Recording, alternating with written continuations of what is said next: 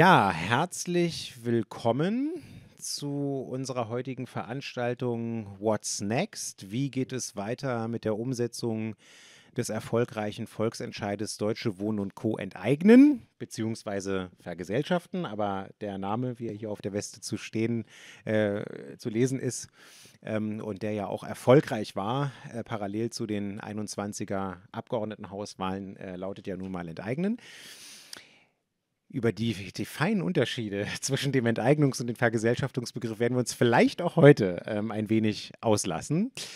Äh, mein Name ist Sebastian Schlüsselburg. Ich bin der direkt gewählte Abgeordnete ähm, aus Berlin-Lichtenberg 4. Äh, dreimal direkt gewählt in das Berliner Abgeordnetenhaus ähm, aus Lichtenberg, bin in der Fraktion zuständig für Rechts- und Verfassungspolitik, Haushalt und äh, Beteiligungscontrolling der Landesunternehmen. Ähm, so viel dazu mir und meiner Person. Ich äh, freue mich, äh, dass wir hervorragende Referenten gewonnen haben, die sich nicht nur und in jedem Punkt vielleicht äh, samt und sonders bei jedem Punkt inhaltlich beipflichten werden und das Gleiche erzählen werden, sondern wo vielleicht auch ein bisschen Spannung auf, auftreten wird. Ähm, nämlich ähm, zum einen Justus Henske von der Initiative ähm, Deutsche Wohnen und Co. enteignen. Herzlich willkommen. Schön, dass du da bist unschwer zu erkennen, auch an den berühmten lila Westen, die ja wirklich auch ein Markenzeichen geworden sind. Ähm, und äh, zu meiner Linken äh, Lars Rauchfuß, ähm, seines Zeichens Abgeordnetenkollege ähm, aus der SPD-Fraktion, auch direkt gewählt äh, in seinem. Ach, nee, verdammt, blöde Wiederholungswahl. Ähm, also er war eigentlich direkt gewählt und dann äh, kamen so ein paar Protestwähler und ähm, haben ihm das Direktmandat weggenommen. Aber es ist egal, du bist trotzdem Abgeordneter geblieben ähm, äh, für Tempelhof Schöneberg und bist dort auch äh, Kreisvorsitzender der ähm, SPD. Ähm, herzlich willkommen, lieber Lars. Schön, dass du hier bist. Es ist sozusagen ein Rückbesuch, denn ähm, Lars hatte schon in seinem Wahlkreis eine Veranstaltung gemacht, auch zusammen mit der Initiative. Und äh, da war ich auch eingeladen und deswegen habe ich gesagt, äh, die nächste Runde machen wir dann bei uns. Vor allen Dingen dann, wenn es ähm, auch wieder äh, Neues miteinander zu bereden gibt. Ähm, Sie werden sicherlich eine Person vermissen. Ähm, und es tut mir gleich aus zwei Gründen total leid, aber wir können es äh, tatsächlich leider nicht ändern. Ähm, Professor Dr. Isabel Feichtner, die Mitglied der Expertinnenkommission ähm, des Rot-Rot-Grünen Senats ähm, zur ähm, ja, Frage der rechtlichen Voraussetzungen und auch der Umsetzungsmöglichkeiten des erfolgreichen Volksentscheides war, hat sich leider gestern äh, krankheitsbedingt entschuldigen müssen. Das ist in den Tagen leider so. Ähm, das ist schade, aber ich sag mal so, aufgehoben ist nicht aufgeschoben. Wir werden sicherlich äh, bis zu den äh, nächsten Abgeordnetenhauswahlen und einem möglichen neuen Volksentscheidstermin äh, noch die ein oder andere Runde zu dem Thema drehen und äh, dann werden wir auf jeden Fall auch versuchen, Sie nochmal einzuladen.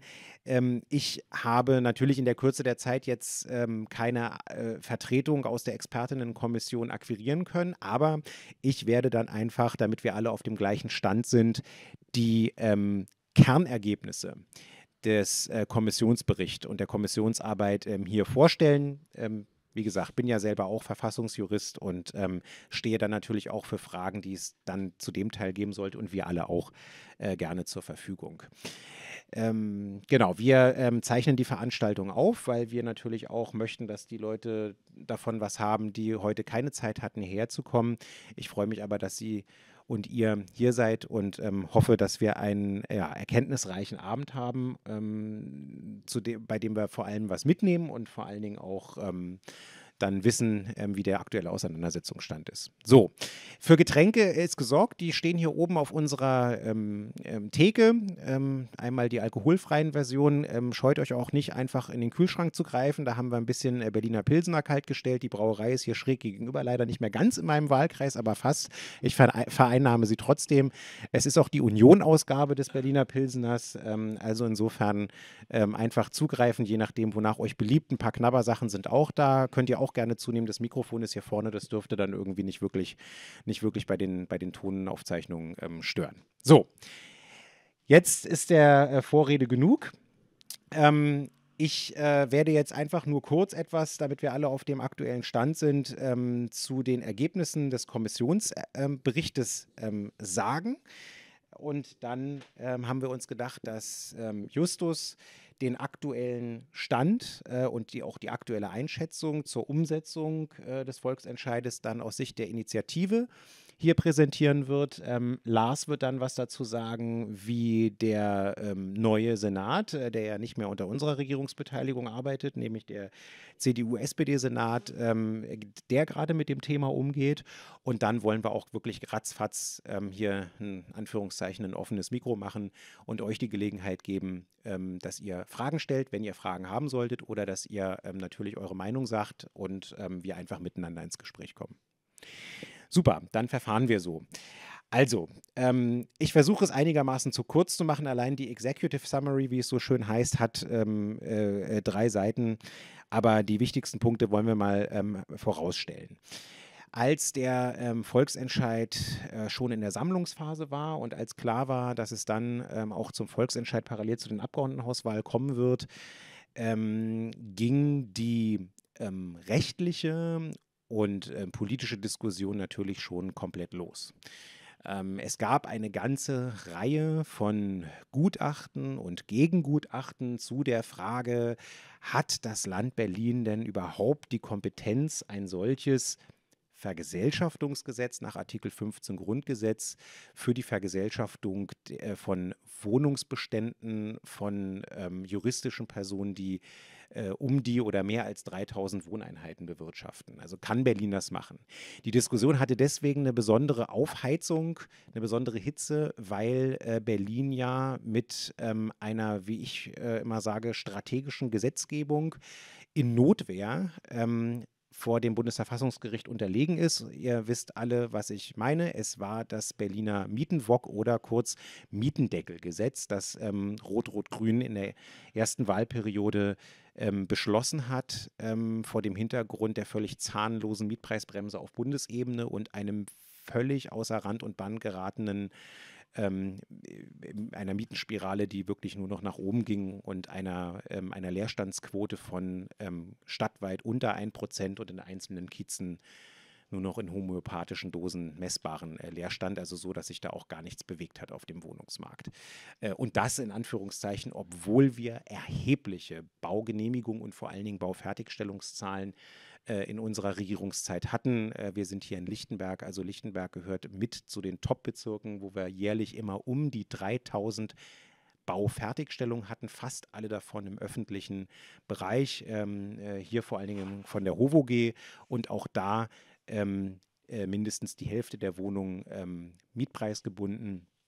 Ähm, dann später sogar noch mehr, äh, ein größerer Anteil, zwei Drittel mietpreisgebundene Wohnungen. Und trotzdem hat das sozusagen ähm, äh, nicht gereicht, um die, die Nachfrage, die wir an der Stelle hatten, äh, auch nur ansatzweise befriedigen zu können. Deswegen also damals diese Notwehrgesetzgebung in Anführungszeichen. Und ähm, es war eine harte, knallharte machtpolitische äh, Auseinandersetzung und ähm, zu dem Thema, wie es zu diesem Urteil des Zweiten Senats äh, beim Bundesverfassungsgericht gekommen ist, könnte man eine eigene Veranstaltung machen. Da könnte ich auch einiges aus dem Nähkästchen, Nähkästchen plaudern. Ähm, ich will nur so viel sagen, ähm, der äh, vom ehemaligen CDU-Bundestagsabgeordneten geführte ähm, äh, Zweite Senat hat dann ähm, die äh, Gesetzgebungskompetenz des Landes Berlin verneint, ähm, um einen Miss Verständnis gleich vorzubeugen. Karlsruhe hat nicht gesagt, dass ein solches Gesetz samt und sonders verfassungswidrig sei oder mit dem Grundgesetz nicht vereinbar sei, sondern es hat nur gesagt, dass ein Bundesland dafür nicht die Kompetenz hat. Bedeutet also, der Ball liegt auf Bundesebene und der Bund müsste, so wie es früher üblich war, ich erinnere nur an das Bundesmietengesetz oder auch vorher an das Reichsmietengesetz, er müsste von dieser Regelung Gebrauch machen. Ähm, das war also natürlich eine Sache, die die Diskussion damals schon sehr, sehr stark geprägt hat und weswegen natürlich sehr, sehr viele ähm, Leute, insbesondere von den Lobbyverbänden, sofort ihre Leute in Stellung gebracht haben und gesagt haben, ah ja, jetzt ist dieser ähm, rote Socken, äh, rot, rot-grüne Sockensenat irgendwie schon einmal auf die Fresse geflogen in Karlsruhe. Jetzt kommen die gleich wieder mit dem nächsten Experiment, Artikel 15 Grundgesetz, äh, der ist ja noch nie angewandt worden. Ähm, und jetzt glauben die, die können ja irgendwie die nächste Geschichte machen. Äh, also natürlich und von der Initiative. Ja? Also der Volksentscheid äh, hat ja den Senat aufgefordert, einen Gesetzentwurf vorzulegen und dann im Abgeordnetenhaus beschließen zu lassen. Und dann gab es also Gutachten und Gegengutachten. Und ähm, da ist wirklich alles alles angegriffen worden, was man angreifen konnte. Erstes Argument, das Land hat die Gesetzgebungskompetenz nicht. Zweite, zweite Stoßrichtung, naja, wenn das Land die Gesetzgebungskompetenz hat, dann gibt es aber ein Problem, weil in der Landesverfassung ähm, steht ja nichts von Vergesellschaftung und im Grundgesetz schon. Das kann aber nicht sein. Das muss gleich, gleichlautend sein. Ich formuliere das jetzt mal ein bisschen einfacher und lasse die juristischen Fachbegriffe weg. Ähm, deswegen ähm, hätte das, wäre das, wär das nur möglich, wenn es eine ähm, Verfassungsänderung in Berlin geben würde. Klammer auf, dafür braucht man eine Zweidrittelmehrheit und die kriegst du im Moment nicht ohne die CDU. Also hat die Baulobby dann versucht, dieses, äh, dieses Argument ähm, oder dieses äh, Falschargument in die, in die Welt zu setzen. Das nächste Argument war dann, ah, das ist alles mit den europäischen Grundfreiheiten, also dem europäischen Primärrecht nicht zu vereinbaren. Ja, der Kapitalverkehrsfreiheit, der Dienstleistungs- ähm, äh, und auch der europäischen Berufsfreiheit Freiheit, ähm, das ginge alles gar nicht. Und das nächste Argument war dann, ah, das geht ja auch gar nicht mit der Menschenrechtskonvention überein. Also da haben wir ja auch einen Schutz äh, des, der, der Eigentumsgarantie ähm, und also auch vor dem Hintergrund sozusagen der ähm, der, der entsprechenden äh, Menschenrechtscharta funktioniert das auch nicht. Ich habe dann nur noch gewartet, ob als nächstes auch der intergalaktische Gerichtshof sozusagen, ja, äh, irgendwie noch als Argument ins Feld geführt wird. Ähm, äh, das wurde dann nicht gemacht. Dann ähm, gab es die nächsten Punkte, wo gesagt wurde, naja, ähm, okay, könnt ihr vielleicht machen, aber wenn ihr das macht, dann müsst ihr zwingend, wie bei den Enteignungen nach Artikel 14 Grundgesetz, nach dem Verkehrswert entschädigen, wenn ihr den Leuten ihr rechtmäßiges Eigentum, in Anführungszeichen, rechtmäßiges Eigentum wegnehmt. Ähm, mit anderen Worten, das ist aber ganz schön teuer, das kann sich dieses überschuldete Berlin doch überhaupt gar nicht leisten. Und äh, dann wurde noch die Scheißhausparole hinzugeworfen, irgendwie, ja, durch eine Vergesellschaftung oder Enteignung einer Wohnung entsteht ja keine neue Wohnung. Also ihr macht ja hier, ihr löst ja gar nicht das Wohnungsproblem, ihr ändert ja nur die Eigentumsverhältnisse. Das ist doch alles völlig, äh, völlig bescheuert und ihr streut doch den Leuten hier nur Sand ins Auge. Ähm, äh, so, das war also ein weiterer Punkt, den die Kommission zu klären hatte. Kann unterhalb des Verkehrswerts, und im Verkehrswert wissen wir alle, steckt ein erheblicher Schuss äh, Marktspekulation drin, äh, kann da unterhalb des Marktwertes entschädigt werden. Ähm, oder nicht. Ein weiteres Argument war natürlich das Gleich, der Gleichbehandlungsgrundsatz, der ja äh, im Grundgesetz in Artikel 3 verbrieft ist, äh, so nach dem Motto, ja, das kann doch nicht sein, dass da irgend so eine dahergelaufenen äh, äh lila Westen irgendwie kommen, hier so eine jungen Radikalinskis, die noch nie richtig gearbeitet haben, ja, die hier irgendwelche komischen Vergesellschaftungsträume haben. Äh, das kann ja wohl nicht sein, dass die hier einfach sich äh, in irgendeinem so Hinterzimmer beim fünften Wein und zehnten Bier irgendwie sagen, ja, Pi mal Daumen, äh, hier 3000 Wohneinheiten, die krallen wir uns und die, die drunter sind, die krallen wir uns nicht. Ähm, das geht ja alles mit, der Gleichbe mit dem Gleichbehandlungsgrundsatz nicht. Das war das nächste Argument, was in die Waagschale geworfen wurde. Und dann gab es noch das Argument, ja, also wenn ihr jetzt aber hier schon so eine ähm, juristischen Personen mit 3000 Wohneinheiten oder mehr in den Blick nimmt, ja, dann müsst ihr aber auch an eure geliebten Genossenschaften ran, weil also das geht ja jetzt nicht. Also da muss man ja, da ist ja kein wesentlicher Unterschied, ob man jetzt hier irgendwie so eine deutsche Wohnen- oder Vonovia-Klitsche ist oder ob man eine Genossenschaft ist. Also so so, das war dann der nächste Punkt, wo dann auch versucht wurde, einen Keil sozusagen reinzutreiben, äh, taktisch, sag ich mal, in die ähm, Mieterinnen und Mieter äh, auf dem sogenannten, ich hasse das Wort ja, freien Wohnungsmarkt, also auf dem kapitalistischen, unregulierten Wohnungsmarkt ähm, und den Leuten, die das Glück haben, äh, zum Beispiel in Lichtenberg äh, haben wir ja 25 Prozent des Wohnungsbestandes in genossenschaftlicher Hand, ähm, die das Glück haben, in einer Genossenschaft äh, zu wohnen und da ähm, halt eben Genossen sind, also den Laden sozusagen äh, mitbesitzen ähm, und auf der anderen Seite halt eben einen anderen, einen anderen ähm, Zweck haben, nämlich nicht den der Erhöhung der äh, Dividende der Anteilseigner sondern eben, dass sie da einen guten qualitativen Wohnraum haben zu bezahlbaren Preisen. Das ist ja das Ziel fast aller Wohnungsbaugenossenschaften, die ich jedenfalls kenne. Das waren dann so im Wesentlichen die, äh, die Argumente, die diese Kommission ähm, äh, zu prüfen hatte. Ich ähm, bin offen und ehrlich und sage, es gab am Anfang auch zwischen uns Linken oder auch der, der alten Koalition und der Initiative ähm, Diskussionen, ähm, ob denn dieser Weg, eine solche Kommission einzuschalten, äh, nicht einfach nur ein Ablenkungsmanöver ist. Da ist uns vorgeworfen worden, so, naja, komm, ihr habt jetzt da äh, eine neue regierende Bürgermeisterin mit Franziska Giffey, da weiß doch jeder, dass die sozusagen eher so vom konservativen Flügel der Sozialdemokraten kommt und auf so eine komischen sozialistischen Experimente hier gar keinen Bock hat. Und äh, die such, ihr sucht doch nur einen eleganten Weg, um einerseits äh, ähm, euren Arsch in die Koalition zu bringen. Ähm, zu den Sozialdemokraten und gleichzeitig aber irgendwie nicht in ein Problem reinzukommen, jetzt hier äh, gegen die Sozialdemokraten äh, die Umsetzung dieses Volksentscheides irgendwie äh, zu fordern, weil ihr doch wisst, dass die doch eh so einem Gesetz nie zustimmen würden. So, ähm, und dann wurde gesagt, naja, diese Kommission ist doch so ein, ihr kauft euch Zeit, es ist doch so ein Verschiebebahnhof und so weiter. Tatsächlich, ich war sehr, sehr eng damit befasst, ähm, auch sozusagen diese Kommission zu besetzen und zu gucken, wer da reinkommt.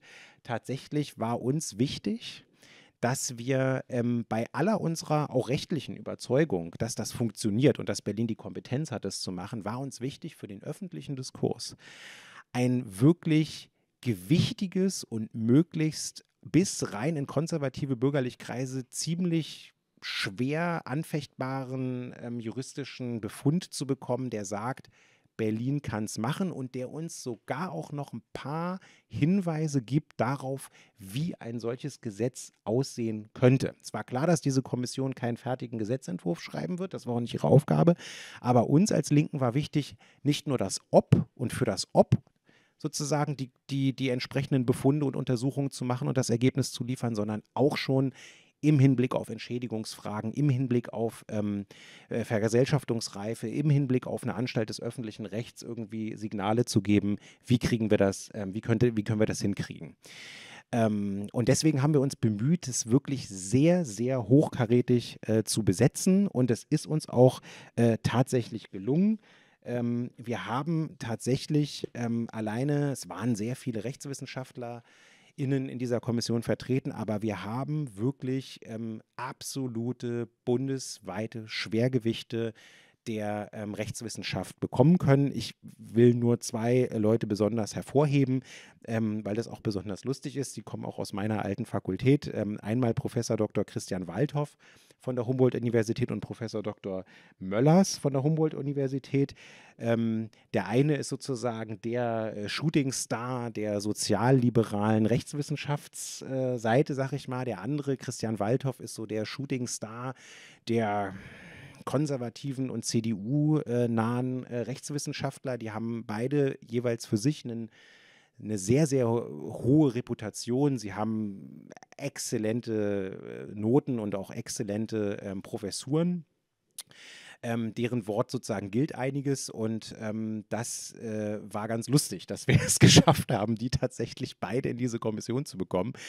Ähm, vor allen Dingen, weil Christian Waldhoff auch einer derjenigen war, der im Vorfeld schon Gutachten erstattet hat im Auftrag der, ähm, der Konservativen und auch der Immobilienlobby, um irgendwie äh, in die FAZ hinein und in diese ganzen ähm, bürgerlichen Medien hinein irgendwie schon sozusagen so die Abwehrargumente irgendwie zu bringen. Und ähm, selbst er ähm, hat zum Beispiel in dem Kommissionsbericht, ähm, er gehört am Ende zu drei Leuten, die gesagt haben, also drei Kommissionsmitglieder haben gesagt, ähm, Berlin hat zwar die Kompetenz und könnte das äh, sozusagen grundsätzlich machen, aber es gibt dieses Problem mit der Landesverfassung das äh, vertritt er immer noch. Ähm, und dann haben sie noch sozusagen eins, äh, ein, zwei andere Punkte, wo sie sagen, naja, das mit dem ähm, Entschädigen unterhalb des Verkehrswerts geht zwar auch, aber nicht so niedrig, wie sich das die Kommissionsmehrheit vorstellt. So.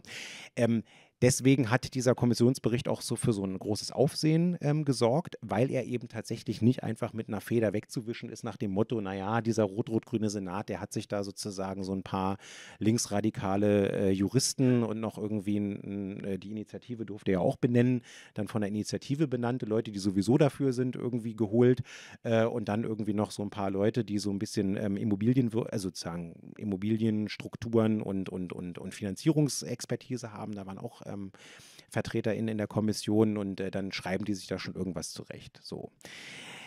Das sind jetzt mal so ein bisschen, ich habe das versucht, möglichst, äh, möglichst nicht juristisch äh, die wesentlichen Knackpunkte ähm, äh, zu bringen. Äh, die Ergebnisse der Kommission. Das heißt, wir haben im Moment folgende Situation. Das Ergebnis der Kommission liegt da. Berlin hat äh, die Gesetzgebungskompetenz, das zu machen. Berlin hat die Möglichkeit, unterhalb des Verkehrswertes äh, zu entschädigen ähm, und kann ähm, auch sozusagen natürlich ähm, äh, refinanzieren, weil ähm, das nur als kleines Argument ähm, Lars und ich, wir sitzen ja auch beide im Hauptausschuss, also in dem Ausschuss, der für die Einnahmen und die Ausgaben des Landes zur Verfügung steht. Ähm, wir machen auch die Immobiliengeschäfte in diesem Ausschuss, beziehungsweise genehmigen sie. Und ähm, eine Sache ist eine Binsenweisheit, wenn die öffentliche Hand, also entweder das Land selber oder eine Gesellschaft, die uns gehört, oder eine Anstalt des öffentlichen Rechts, die uns gehört, wenn die ein Grundstück kauft und sei es auch im ersten Zugriff kreditfinanziert, dann bekommt sie dafür einen Gegenwert und zwar den unmittelbaren Gegenwert des Grund und Bodens plus der ganzen Zubehörgeschichten und so weiter. Das kann man finanzieren mit sogenannten Transaktionskrediten. Das ist im Übrigen auch ähm, außerhalb der Schuldenbremse möglich. Ähm, sowas machen wir regelmäßig nur nicht möglicherweise in dem großen Umfang. Ähm, das wollte ich nur noch mal erwähnt haben, weil äh, das tatsächlich auch noch ein wichtiger Punkt ist, über den wir, äh, über den wir möglicherweise reden oder Argumente, Gegenargumente, die ihr möglicherweise hört von Leuten, die sagen, ähm, Berlin könne das nicht machen und wenn Berlin es macht, fliegt es in Karlsruhe wieder auf die Fresse. So, also ähm, der Kommissionsbericht liegt auf dem Tisch. Ähm, der Senat hat dann, das wird Lars sagen können, der neue Senat hat sich dann darauf verständigt, ein Rahmengesetz zu erlassen erlassen zu wollen, erarbeiten zu wollen. Ähm, hat aber auch ehrlich gesagt, wir machen so ein Rahmengesetz, aber eine konkrete Vergesellschaftung machen wir von keiner einzigen, von keiner einzigen Wohnung. Ja, ja, ruhig, ruhig, ruhig, ruhig. Ja, der Lars wird schon ganz ungeduldig. Ähm, und daraufhin hat die Initiative, das haben wir in der Zeitung lesen können, gesagt, ähm, nee, also jetzt ist es uns zu bunt. Ähm, jetzt, äh, wir waren schon ungeduldig beim R2G-Senat. Äh, jetzt ist die CDU an der Regierungsbeteiligung. Äh, jetzt wollen die so ein Rahmengesetz machen. Ähm, das brauchst doch eigentlich gar nicht. Äh, aber wenn es jetzt irgendwie keinen echten, keinen echten Gesetzentwurf gibt, dann ähm, machen wir folgendes, dann schreiben wir einfach, ähm, ich drücke das jetzt mal auch wieder ein bisschen locker aus, jetzt schreiben wir einfach selber ein, dann werden wir einfach nochmal die nötigen Unterschriften sammeln und dann legen wir euch beim nächsten Mal einen Gesetzentwurf vor, der, wenn er dann wieder die Mehrheit der Berlinerinnen und Berliner bekommt, beziehungsweise der Abstimmungsberechtigten bekommt, der dann sofort äh, im Gesetz- und Verordnungsblatt veröffentlicht wird und sofort zuschnappt. So, das ist der aktuelle Stand. Ähm, ich habe jetzt genug gesabbelt, ähm, habe so ein bisschen den Part von Isabel Feichtner ähm, übernommen, ähm, aber das sozusagen sehr unjuristisch gemacht. Sie hätte das ähm, sicherlich ähm, mit viel mehr Fachvokabular gemacht. Äh, aber das soll uns ja nicht äh, hindern. Und jetzt, Justus, würde ich dir gerne das Mikrofon geben, damit du uns mal abholst, was gerade äh, sozusagen euer aktueller Stand in der Initiative ist und vor allen Dingen, was ihr vorhabt. Äh, ja, hi. Ähm, danke nochmal für die Einladung. Ich bin Justus. Äh, ich bin in der Initiative aktuell in der Öffentlichkeitsarbeit und im Koordinierungskreis und einer der aktuellen PressesprecherInnen. Ähm, und genau, würde jetzt mal ein bisschen probieren, da losgehen, wo Sebastian gerade aufgehört hat, so ein bisschen unsere Situation zu schildern. Äh, genau, wie es schon angedeutet wurde, die Expertinnenkommission äh, hat den Bericht vorgelegt und was uns wirklich äh, nicht nur uns persönlich, aber im Allgemeinen natürlich freut, ist, dass sie uns in sehr, sehr, sehr vielen Punkten recht gibt. Also Sebastian hat gerade das nochmal sehr genau ähm, aufgezählt und in einigen Punkten haben wir uns auch wirklich besonders gefreut. Also gerade in dieser Genossenschaftsfrage zum Beispiel, dass es einfach klipp und klar als da drin steht, dass eines wirklich der unlautersten Argumente und auch der frechesten, frechesten Argumente, die, die damals kamen, also einfach GenossenschafterInnen aufzuhetzen, aktiv aus der Immobilienwirtschaft oder auch von den Genossenschaftsvorständen mit wirklich hanebüchenden Argumenten. Das ist wirklich auch sehr schön, dass dass es jetzt einfach vom Tisch ist und dass wir uns wieder um die wichtigen Sachen kümmern können. Ähm, wir bleiben weiter dabei, auch wenn wir jetzt äh, mit, äh, mit, diesem Bericht sehr gut arbeiten können und wenn, dass wir uns freuen, dass nochmal, äh, dass wir in so vielen Punkten bestätigt wurden, in den Bereichen, was wir, die wir immer schon auch nach vorne gestellt haben, bleiben wir ähm, dabei. Es hätte diese Kommission nicht gebraucht. Ähm, das ist sehr gut, dass wir jetzt nochmal die Fachexpertise von außen in einem konzentrierten Prozess auch nochmal mit diesem Produkt am Ende da liegen haben. Aber gleichermaßen hätte man sich sehr gut andere Mechanismen vorstellen können, wie ein ganz klassischer, ganz normaler parlamentarischer Prozess, wie bei jedem anderen komplexen Gesetz, ähm, in einem vielleicht ein bisschen längeren Verfahren diese Expertise auch mit einbezieht. Ähm, das ist aber Geschichte. Äh, wir hatten diese Kommission. Äh, wir haben uns ja dann auch daran beteiligt. Ähm, ähm, Und es war trotzdem ein Erfolg. Und da, glaube ich, muss man aber noch einen Punkt hinzusetzen, hinzusagen, dass diese Kommission auch ein so ein produktiver Erfolg ist, mit dem man jetzt weiterarbeiten kann und auch so, so konkret die wichtigen Fragen nochmal angegriffen hat. Anwendungsbereich, Verhältnismäßigkeitsprüfung, kann man das in Berlin machen? Diese ganzen Sachen ist auch nicht von alleine gekommen. Also der Senat und vor allem die Bauverwaltung noch unter dem alten, in dem alten Senat, aber auch andere Akteure haben wirklich viel dafür getan, diese Kommission möglichst hinter verschlossenen geschlossene Türen zu packen, dass man den möglichst schlecht begleiten kann, dass man möglichst schlecht die, die Mieterinnen und Mieter informieren kann.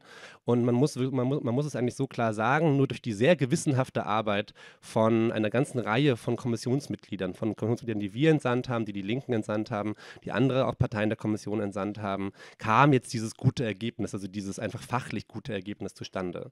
Und auch natürlich durch unsere Arbeit pro zu probieren, an ganz vielen Stellen die Arbeit, die darin passiert, wieder in die Öffentlichkeit zu zerren, um sie überhaupt überhaupt diskutierbar zu machen, dass sie ja da nicht versenkt wird.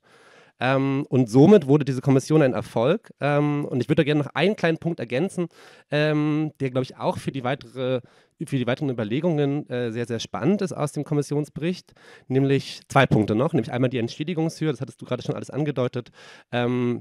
Dass die Kommission uns darin recht gibt, dass man nicht den Spekulationswert, nicht den Marktwert entschädigen muss, sondern dass man verschiedenste Abschläge machen kann. Und das Schöne ist, dass die Kommission da zum einen unser Modell geprüft hat, also einmal das faire Mietenmodell und äh, mit einer Mehrheit gesagt hat, das geht. Das kann man sich nochmal genauer angucken. Das, das, das, würde funktionieren.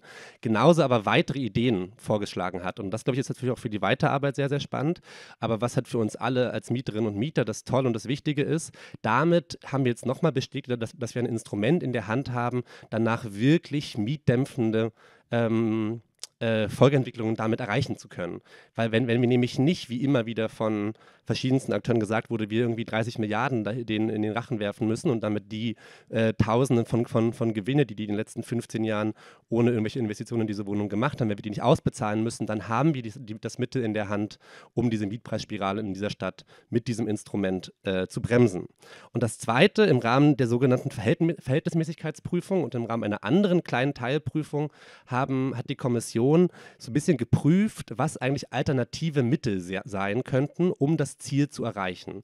Und in diesem ganzen Prüfungsprozess kam danach die Kommission mit einer deutlichen Mehrheit zu dem Punkt, für das Ziel, was wir haben mit der Vergesellschaftung, nämlich diese anhaltende Mietpreisdynamik, die ja nicht aufgehört hat in den letzten Jahren, um die zu stoppen, um die zu unterbrechen. Ob wir alles um 2 Euro absenken können, ist eine andere Frage, aber um die zu kappen und, und, und die Belastungen nicht weiter steigen zu lassen, dafür ist die Vergesellschaftung das beste Mittel.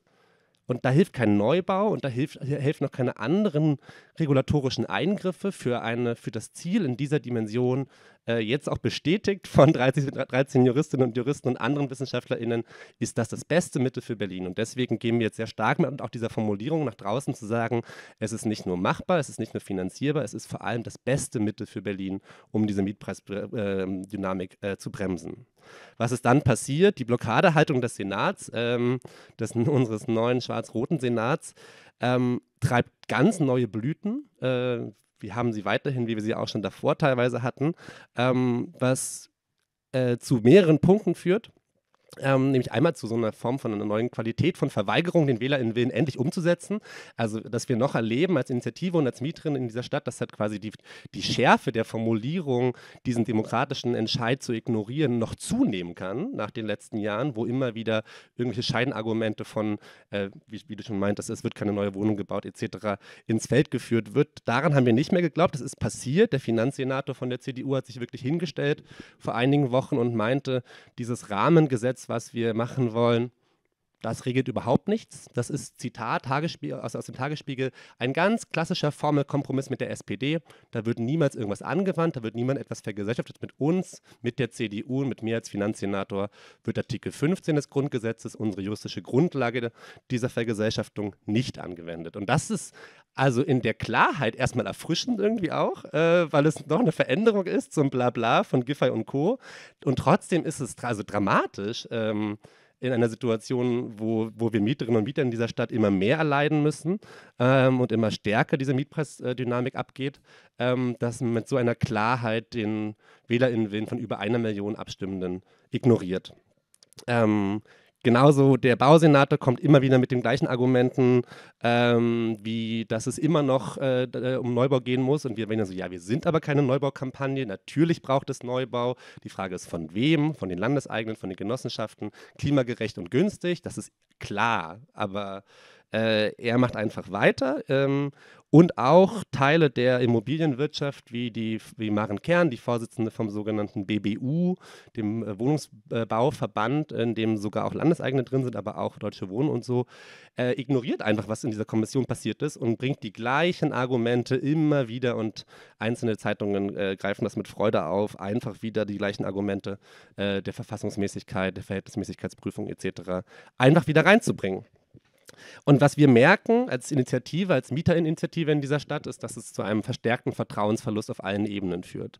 Einmal in den Bereichen, die ganz, die ganz konkret unsere Initiative bet äh, betreffen. Also wenn wir in unseren ähm, Projekten und in uns, in, mit unseren Projekten in den äh, Siedlungen sind, wie zum Beispiel in Pankow, wo wir gerade sehr viel daran arbeiten, äh, MieterInnen zu unterstützen, sich gegen auslaufende Sozialbindungen zu wehren. Oder wenn wir in Tempelhof-Schöneberg sind, wo bei, in deutsche Wohnsiedlungen äh, wirklich Kraut- und Rüben-Nebenkostenabrechnungen irgendwie ausgesandt werden. Wenn wir in der Weißen Siedlung sind in Neukölln, wo wirklich die klassischsten, schlimmsten Mängel von ähm, Aufzug passiert, einfach äh, fährt, Auf, Aufzug funktioniert für mehrere Wochen nicht, dann merkt man eine noch stärkere Resignation als die, die wir schon kannten in, in diesen Siedlungen. Also zu der normalen Resignation von, wir erreich, man erreicht niemanden, man ist eine Nummer, hier, hier passiert überhaupt nichts, aber pünktlich alle zwei Jahre kommt dann wieder die, die äh, Mieterhöhung, auf einmal kennen sie uns doch wieder. Oder die klassische Resignation von jahrelang hört man, äh, rühren hier alle keinen Finger und im Treppenhaus verfällt alles und dann kommt irgendwann nicht die Instandhaltung, sondern die energetische Modernisierung, weil damit können sie uns das auf die Miete umlegen. Noch dazu kommt jetzt die Verstärkung der Situation, dass wenn wir mit den MieterInnen sprechen oder wir selber einfach mit unseren NachbarInnen sprechen, hinzu kommt, es ändert sich ja sowieso nichts. Es ändert sich überhaupt nichts auf allen Ebenen. Auch bei anderen, auch in anderen Auseinandersetzungen, beim Vorkaufsrecht in Neukölln, wenn in diesen hippen Bezirken immer mehr altgestammte MieterInnen rausgeworfen werden, weil das Vorkaufsrecht äh, gekippt wurde. Ähm, und jetzt einfach kein Schutz mehr vor Eigenbedarfskündigungen nach einem Kauf von Einzel Einzelpersonen oder so ist. Auch die gucken natürlich darauf, was passiert mit diesem Volksentscheid und resignieren vor allem. Und was macht der Senat? Ähm, er, er setzt ein Rahmengesetz auf. Er gibt uns jetzt die nächste bunte Blüte irgendeiner Verschleppungstaktik. Ähm, und möchte ein Rahmengesetz vermachen, was quasi juristisch, also ein Rahmengesetz ähm, das ist so ein bisschen das Vorhaben äh, dieser, dieser, der aktuellen Koalition, nochmal einen weiteren Zwischenschritt einzuziehen und irgendeinen noch undefinierten Rahmen ähm, zu ziehen und ein Gesetz zu schreiben, ähm, in dem qualitative Kriterien für Wohnen, aber auch auf einmal für Wasser und für Energie gefasst werden, nach denen diese, diesen, diese Bereiche irgendwie äh, vergesellschaftet werden könnten. Und das Lustige dann noch obendrauf ist, dass der Senat angekündigt hat, mit Kai Wegner an der Spitze, äh, gegen, gegen dieses Gesetz selbst zu klagen. Also ein Senat, der sein eigenes Gesetz sagt, sagt, das machen wir jetzt irgendwie mal, aber wir vertrauen ihm überhaupt gar nicht oder machen das nur so als Schein oder pro forma und verklagen das selber. Und das ist nicht nur politisch irgendwie strange, sondern es ist einfach auch juristisch einfach irrwitzig, weil sie müssten halt, sie können ja nicht gegen ihr eigenes Gesetz klagen, dafür haben sie gar nicht das, das die Befugnis vom Bundesverfassungsgericht oder vom Landesverfassungsgericht. Sie müssten also irgendjemanden finden, wie Herr Professor Röde aus der Kommission das letztes immer sehr schön hergeleitet hat. Sie müssten jemanden finden, der dagegen klagt und das naheliegendste könnte ja sein, dass die CDU Bundestagsfraktion dagegen klagt. Und das wäre wirklich politisch eine sehr irrwitzige Situation, wenn ein, der, ein Senat in Berlin, der nach bestem Wissen und Gewissen mit Steuergeldern umgehen muss und Gesetze schreiben sollte, die irgendwas Konkretes machen, dann ähm, in einem Kuhhandel ihre eigene Bundestagsfraktion dazu bringt, dagegen zu klagen. Einfach nur, um weiter zu verzögern. Was passiert aber seitdem ganz konkret für uns alle ähm, im Mietenbereich? Man muss es eigentlich sehr klar sagen, es wird alles immer schlimmer. Ähm, das Wohnungsbaubündnis, was als Alternative zur Vergesellschaftung gestartet ist, ist das Papier nicht wert, auf dem es geschrieben ist. Akel, ähm, Adler ist ausgestiegen als einer der großen Konzerne. Die anderen Konzerne halten sich nicht dran. Covivio ist nicht direkt mit drin, aber ist einfach so, ist uns komplett egal, was da passiert. Wir schicken einfach 15 Prozent Mieterhöhungen raus. Ähm, es gibt weder eine ordentliche Kontrolle noch irgendwelche Sanktionsmöglichkeiten, was damit passieren könnte. Die Wohnungsbauzahlen rauschen in den Boden und wenn dann gebaut wird, wird einfach eh nur Blödsinn gebaut. Ähm, währenddessen müssen wir nicht nur die immer weiter steigenden Mieten ähm, tragen, die in den letzten zwei Jahren nochmal äh, so noch krasser gestiegen sind als in den letzten elf Jahren. Also wir haben, haben, haben ja seit von 2011 bis 2021 in Berlin bei den Angebotsmieten eine Steigerung um 100 Prozent im Mittel. Und seit 2021, seit auch den verschiedenen Entwicklungen mit Corona und dem Ukraine-Krieg und äh, der folgenden Inflation, ist diese Kurve nochmal steiler geworden. Und wir haben jetzt einfach äh, teilweise äh, steigende Angebotsmieten, die dreistellig und mehr werden, also in dem Vergleich zu 2011. Währenddessen sind die Wohnungskonzerne, die wir anvisieren, ähm, in eine Krise geraten, und zwar in eine eklatante. Mit der Zinswende hat sich gezeigt, dass das Geschäftsmodell von Vonovia, Akelios, Heimstaden, ähm, Deutsche Wohnen einfach einfach in sich zusammengepurzelt ist. Das Problem ist nur, dass Häme an dieser, an, dieser, an dieser Stelle unangebracht ist, weil man könnte sich, also wir könnten uns ja freuen zu sagen, so fantastisch, jetzt endlich, was wir immer gesagt haben, diese Konzerne gehen nicht ordentlich um mit der Stadt und den Wohnungen. Jetzt haben sie quasi die, jetzt haben sie die Quittung und verlieren massiv an Wert an der Börse, wirklich massiv. Vonovia ist noch ein Viertel das Wert, was es, was, was es vor drei Jahren wert war an der Börse. Das Problem ist, wenn der spekulative Teil vom Geschäftsmodell zusammenpurzelt, das heißt, Vonovia kauft Wohnungen, Vonovia weniger, die haben andere, äh, andere Strategien. Akeles oder Heimstaden kaufen Wohnungen nur in der Hoffnung, zwei Jahre später die noch teurer verkaufen zu können und dann haben sie einen richtig schönen Buchgewinn in, den, in ihren Büchern. Wenn das wegbricht, muss äh, um ihre Ausschüttungserwartungen an ihre Eigentümer und an ihre Aktionäre bedienen zu können, muss, eine, muss das Geld irgendwo anders herkommen. Das heißt, der nicht spekulative Teil ihres Geschäftsmodells, die Mieteinnahmen, da, muss, da wird jetzt die Daumenschreiber noch mehr angelegt. Und das merken wir alltäglich in dieser Stadt. Ähm, Adler hat sich währenddessen als semikriminelle Vereinigung äh, erwiesen, die außen dann wenigstens so ehrlich war und ausgetreten ist aus dem Wohnungsbaubündnis, ähm, aber wirklich einfach deutlich sichtbar die, äh, unsere Miete, die wir diesem Konzern zahlen müssen, am Aktienmarkt verzockt hat ähm, und jetzt möglichst schnell irgendwie diese riesigen Schuldenberge ähm, ähm ja, damit umgehen muss. Und was kommt vom Senat? Nicht viel ein bisschen, bisschen hoffen, dass der Bund irgendwas macht äh, und in einigen anderen Bereichen, wie, wie, wie, zum Beispiel dieses Vorkaufsrecht und in einzelnen anderen Bereichen, wird es eher, wird, werden eher progressive Errungenschaften nochmal abgewickelt. Also ähm, sich der Senat wirklich hinstellt und ähm, Kai Wegner sagt eigentlich, oder die SPD war es eigentlich, Reihe Zaleh von der SPD war es, wir brauchen eigentlich jetzt eine Mietendecke, keine nächste Koalition ohne Mietendecke. Und einen Tag später bei den landeseigenen Wohnungsgesellschaften die Mieten erhöht und dem schreibt, ist einfach wahnwitzig. Also es ist einfach schizophren auf einer politischen Ebene, aber es ist ganz konkret einfach für uns Mieter in die Hölle. Und deswegen haben wir gesagt, das machen wir nicht mehr mit. Einmal machen wir diese Hinhaltetaktik nicht mehr mit. Sie haben zwei Jahre gewartet, wir hatten, haben zwei Jahre dem Senat diese Chance gegeben. Wir haben alles getan, was man im politischen Zirkus machen kann, äh, um diesen Senat unter, unter, unter, Druck zu setzen und darauf hinzuweisen, dass, das, dass dieses Thema nicht äh, hinten überfällt. Und äh, es, ist, es, es, ist wenig bis gar nichts passiert. Ähm, und aus all den Gründen, die ich gerade sagte, mussten, mussten wir zu dem Punkt kommen zu sagen, alles muss man selber machen, wir machen das jetzt auch selber, weil wir sind nicht gewillt aufzugeben, weil wir auch nicht aufgeben können, weil wir auch diese Stadt einfach verlieren würden, sonst wenn wir einfach aufgeben würden und einfach dem aktuellen Lauf weiter zugucken würden. Deswegen, das hat Sebastian schon gesagt, nehmen wir die Sache jetzt einfach selbst in die Hand und wir haben schon vieles geschafft in dieser Stadt, von unten aus der Zivilgesellschaft heraus, das, das schaffen wir jetzt auch noch äh, und werden so ein Gesetz natürlich nicht alleine, also mit sehr viel Hilfe von Juristinnen und Juristen, von Ökonominnen und Ökonomen, von Stadtforscherinnen und Stadtforschern selbst schreiben. Wir werden einfach Geschichte jetzt einfach selbst schreiben und diesen Artikel 15 trotzdem anwenden, und zwar das erste Mal in der bundesdeutschen Geschichte, ähm, aber mit einem eigenen Gesetz. Und das Schöne ist, dass diese Verzögerungstaktik dieser Expertinnenkommission jetzt ein bisschen so ein bisschen Backfire ist, weil wir jetzt damit eine viel bessere Grundlage haben, um dieses Gesetz jetzt selber zu schreiben, anstatt dass es in den Mühen des Parlaments zerrieben werden würde. Und deswegen gucken wir aktuell und haben das ja vor drei Wochen mittlerweile verkündet. Und damit, damit schließe ich ähm, relativ ja, freudvoll in die, in, in die Zukunft. Ähm, wir kämpfen weiter, wir sehen uns als, als, unsere Aufgabe an, weil da kommen wir her. Wir kommen aus der organisierten Mieterinnenschaft, wir kommen aus den Nachbarschaftsgruppen, wir kommen aus den, ähm, aus den Gruppen, die sich am Kotti oder in Pankow oder in Charlottenburg Nord oder in, in Neukölln Süd organisiert haben, um sich gegen ihre Vermieter zu wehren. Ähm, da gehen wir wieder stärker hin. Man kann es ein bisschen böse zuspitzen, wenn man es möchte, oder ein bisschen ja, die Zeit der Parteitage ist für uns vorbei. Wir gucken jetzt nicht mehr aufs Parlament, wir werden jetzt nicht mehr immer wieder appellieren, sondern wir werden die Mietenbewegung wieder stärken, indem wir uns in den Häusern wieder stärker organisieren und soweit den Druck aufbauen und werden parallel das Gesetz schreiben, um dann als MieterInnen organisiert den auch ähm, die, den, die Umsetzung zu erzwingen. Und deswegen, womit wir immer schließen, laden wir auch euch herzlich ein, macht mit. Ähm, es gibt in jedem Kiez ein einzelnes Kiez-Team. Ähm, wir sind weiterhin eine sehr große Initiative mit äh, immer noch 14 Kiez-Teams und es gibt viel zu tun. Ähm, und es wird auch, glaube ich, spannend. Danke euch. Ja, vielen Dank, Justus. Und ähm, jetzt ist äh, Lars neben mir schon ganz unruhig geworden.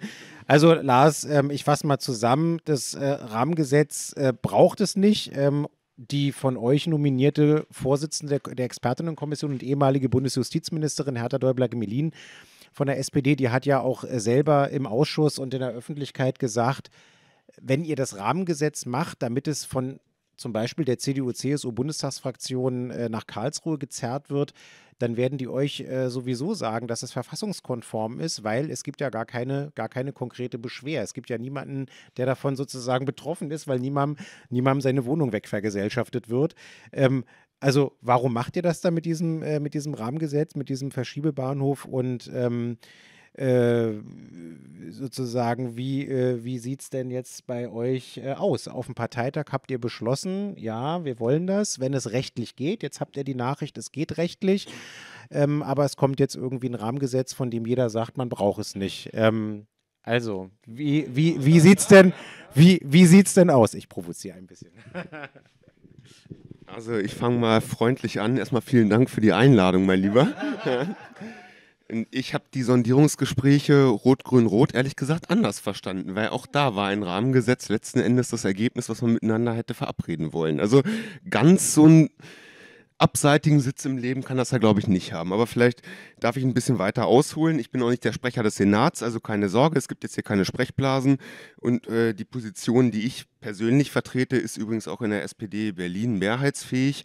Und insofern glaube ich, wir können versuchen, uns auf die Gemeinsamkeiten zu konzentrieren ich bin hier mit der Blechbahn angereist. Und dann war im Berliner Fenster diese Meldung von Ende letzter Woche. HOVOG sagt, auf 288 freie Wohnungen haben sich 43.000 Leute beworben. Also ich glaube, wir brauchen uns hier nicht gegenseitig zu vergewissern, was das Problem ist, sondern wir müssen an der Lösung arbeiten. Und wir haben seitdem zumindest regulatorisch versucht, jede Lösung zu ziehen, die irgendwie ging. Das war Mietendeckel, das waren andere regulatorische Geschichten. Wir sind bisher gescheitert.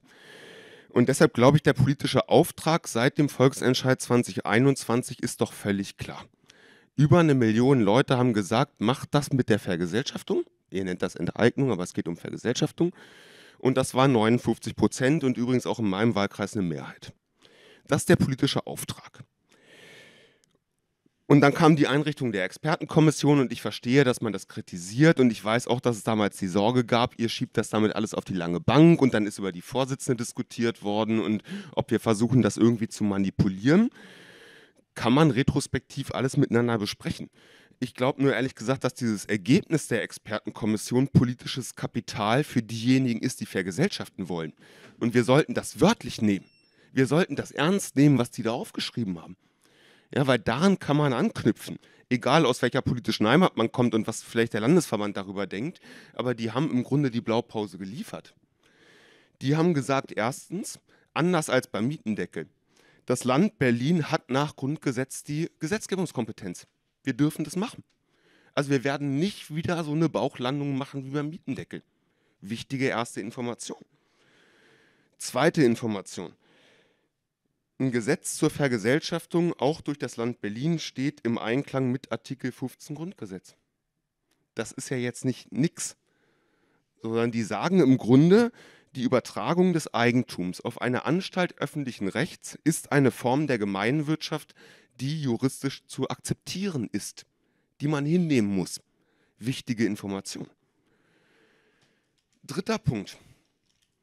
Das Gebot der Verhältnismäßigkeit steht dem nicht entgegen. Ich will jetzt hier, ne, du bist der bessere Jurist von uns beiden, weil ich bin keiner. So, aber zusammengefasst haben die doch gesagt, es gibt kein milderes Mittel, also könnt ihr das verhältnismäßig machen. Widerspruch? Also ich habe das so gelesen, ehrlich gesagt. Uh, kommen wir später. Uh, nächster Punkt. Wissen auch alle hier in der Runde, die betroffenen Unternehmen müssen natürlich entschädigt werden. Und diese Diskussion läuft ja auch seit 2020, 2021 um den Volksentscheid immer wieder drumherum. Geht es jetzt um einen einstelligen Milliardenbetrag oder geht es letzten Endes in der Spitze um 36 Milliarden oder was der Senat da seinerzeit errechnet hatte? Und dann haben die in dieser Expertenkommissionsarbeit sechs verschiedene Berechnungsmethoden durchgeackert, Verkehrswert, hypothetischer Ertragswert und so weiter und so fort.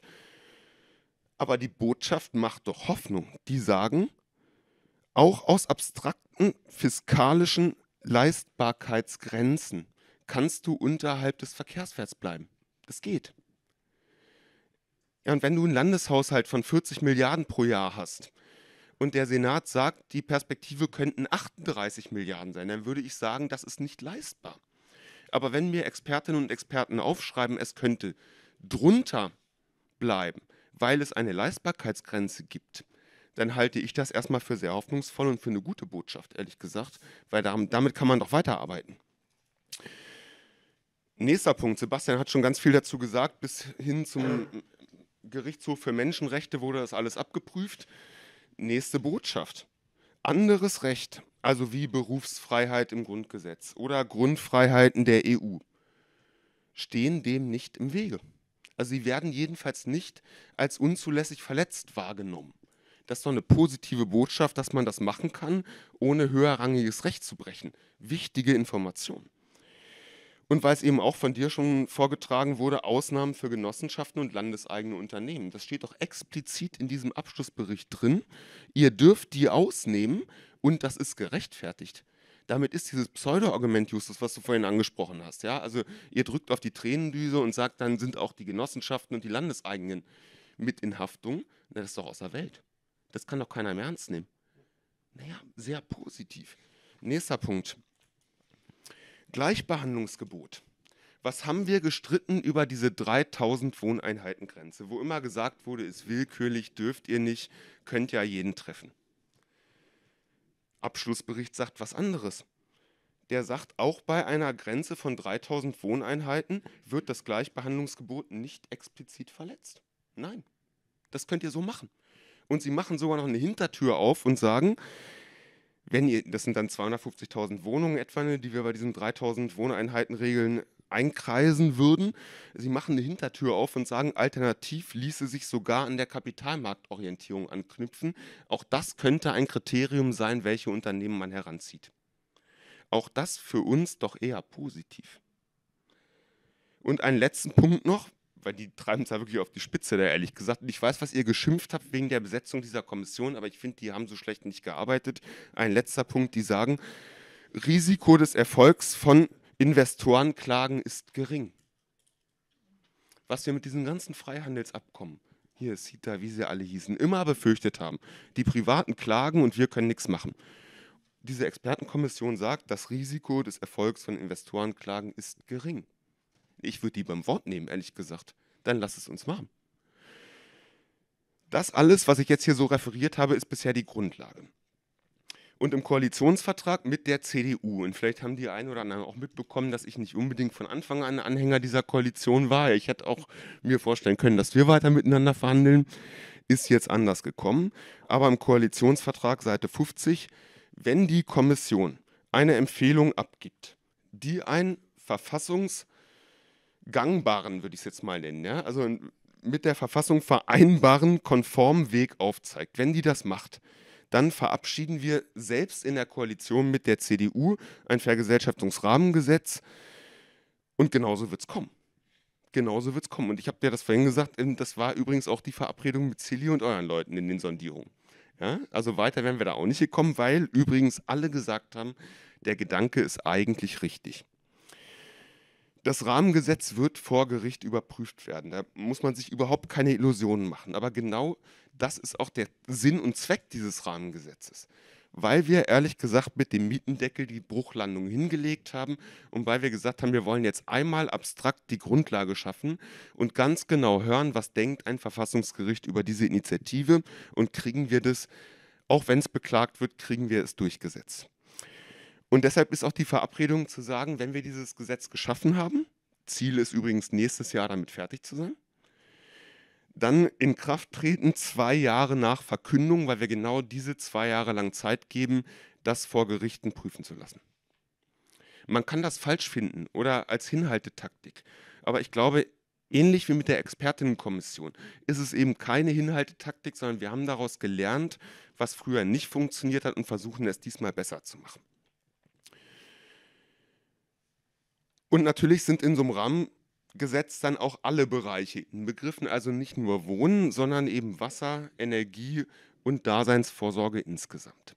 Und ich verstehe, dass man das möglicherweise so als Aspekt sieht, naja, die wollen das wegmoderieren, irgendwie unspezifisch machen. Nein, darum geht es gerade nicht. Sondern es geht im Grunde darum, die Grenzen von Artikel 15 Grundgesetz auszutesten und den Verfassungsgerichtshof zu fragen, gibt es eine Möglichkeit, dass wir allgemein und damit auch ein für alle Mal eine Rechtsgrundlage schaffen zu Vergesellschaften, weil diesen Artikel 15 Grundgesetz hat bisher noch niemand angefasst. Es hat sich noch nie jemand getraut, diesen Artikel zu ziehen. Und sich dafür zwei Jahre Zeit zu nehmen und zu sagen, wir meinen dann übrigens nicht nur Wohnen, wir meinen vielleicht auch Wasser und Energie, finde ich jetzt erstmal nicht falsch. Es ist eine Grundsatzfrage, die wir damit stellen und das dann abprüfen zu lassen, okay. Aber ich sehe natürlich auch die Zweifel. Ich weiß, ich muss zum Ende kommen, ich quatsche schon viel zu lange, aber der Punkt ist mir nochmal wichtig, weil das ein politischer Punkt ist. Natürlich gibt es jetzt auch wieder Zweifel an der Umsetzung, zumal die Federführung bei Senfin liegt. Und wir haben von Evas gehört, ja, der möchte das eigentlich nicht so gerne, der wird von uns da auf Koalitionslinie gezwungen. Stimmt. Aber Senator Gebler hat im Juni übrigens auch gesagt, wir werden das in dieser Wahlperiode umsetzen. Wörtliches Zitat. Und daran würde ich die Jungs dann ehrlich gesagt auch festhalten. Also das ist ein politisches Versprechen, was wir gegeben haben und daran hat man sich zu halten. Und nach meiner Kenntnis hat es im September eine Auftaktsitzung im Senat zu genau dem Thema gegeben.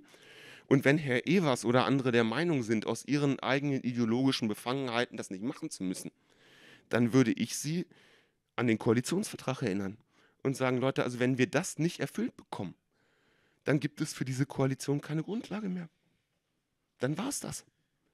Das ist die Verabredung. Und ich will noch einen letzten Satz sagen. Ja, ich merke, es gibt jetzt hier schon Diskussionsbedarf, ist ja auch in Ordnung, können wir gerne drüber streiten. Aber diese Auflassung zu sagen, es geht nicht nur um Wohnen, sondern auch um andere Bereiche der Daseinsvorsorge, die hat doch auch mit den aktuellen Krisen zu tun.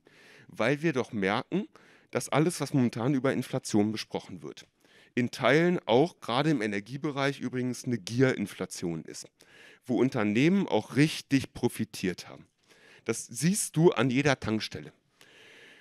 Und dann zu sagen, okay, wir machen nur DW enteignen, aber lassen die anderen Fragen ausgeblendet, fände ich ehrlich gesagt auch zu kurz gesprungen. Ich glaube, wir haben gerade jetzt in der Folge dieser Krisen die Chance, als erstes Bundesland übrigens, Artikel 15 Grundgesetz mal so richtig schön, richtig schön meine ich wörtlich auszulegen und darauf zu prüfen, was da eigentlich geht. Ich würde das gerne machen. Das ist das politische Versprechen. Ich bin hier nicht der Senatssprecher. Ne?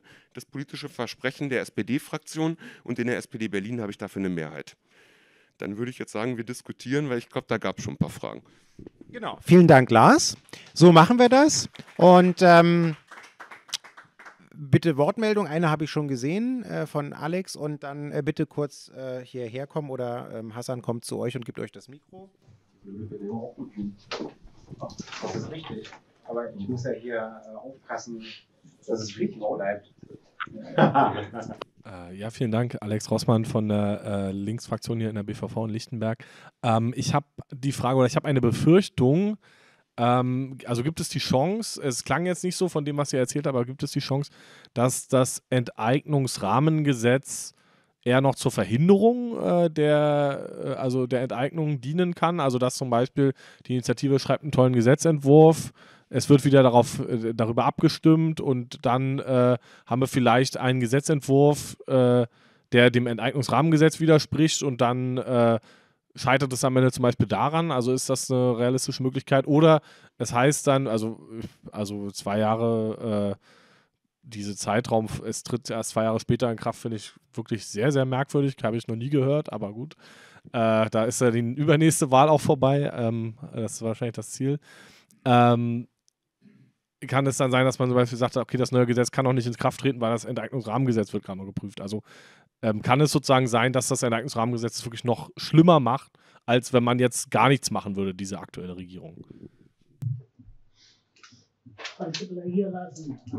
Erstmal Busch überhaupt vor dir. Nee, lass mal, ich kann äh, auf dem Mikro. Na dann. Ähm, Na doch, wir brauchen das Mikro, sonst. ach so, Das ist für mich ja, für die Nachbildung. du musst es aufzeichnen, genau. Äh, Ronald Busch, ich bin hier Anwohner im Wohngebiet. Ich fand das erstmal äh, eine tolle Veranstaltung und vor allem eure drei Darstellungen mit all den Nuancen, die enthalten sind.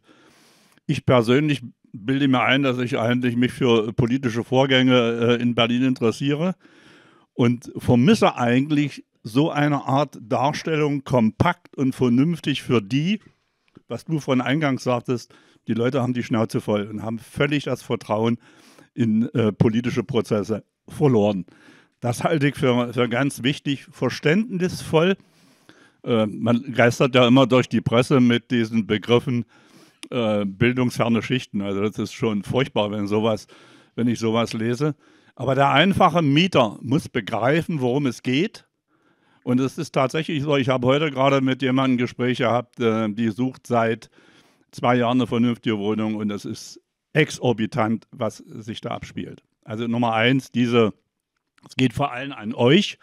Ich glaube kaum, dass äh, von den äh, politischen Parteien da was äh, Vernünftiges kommt. Das ist manchmal auch so verschachtelt, dass es nicht begriffen wird. Also die Initiative würde ich da adressieren. Und die zweite Sache ist, das würde mich interessieren, es hat ja damals vor zwei Jahren auch einen Aufschlag gegeben bundesweit, als äh, eure Initiative gestartet wurde. Wie ist die Reaktion oder wie ist die Resonanz also im, im Bund von anderen Städten beziehungsweise in anderen Bundesländern?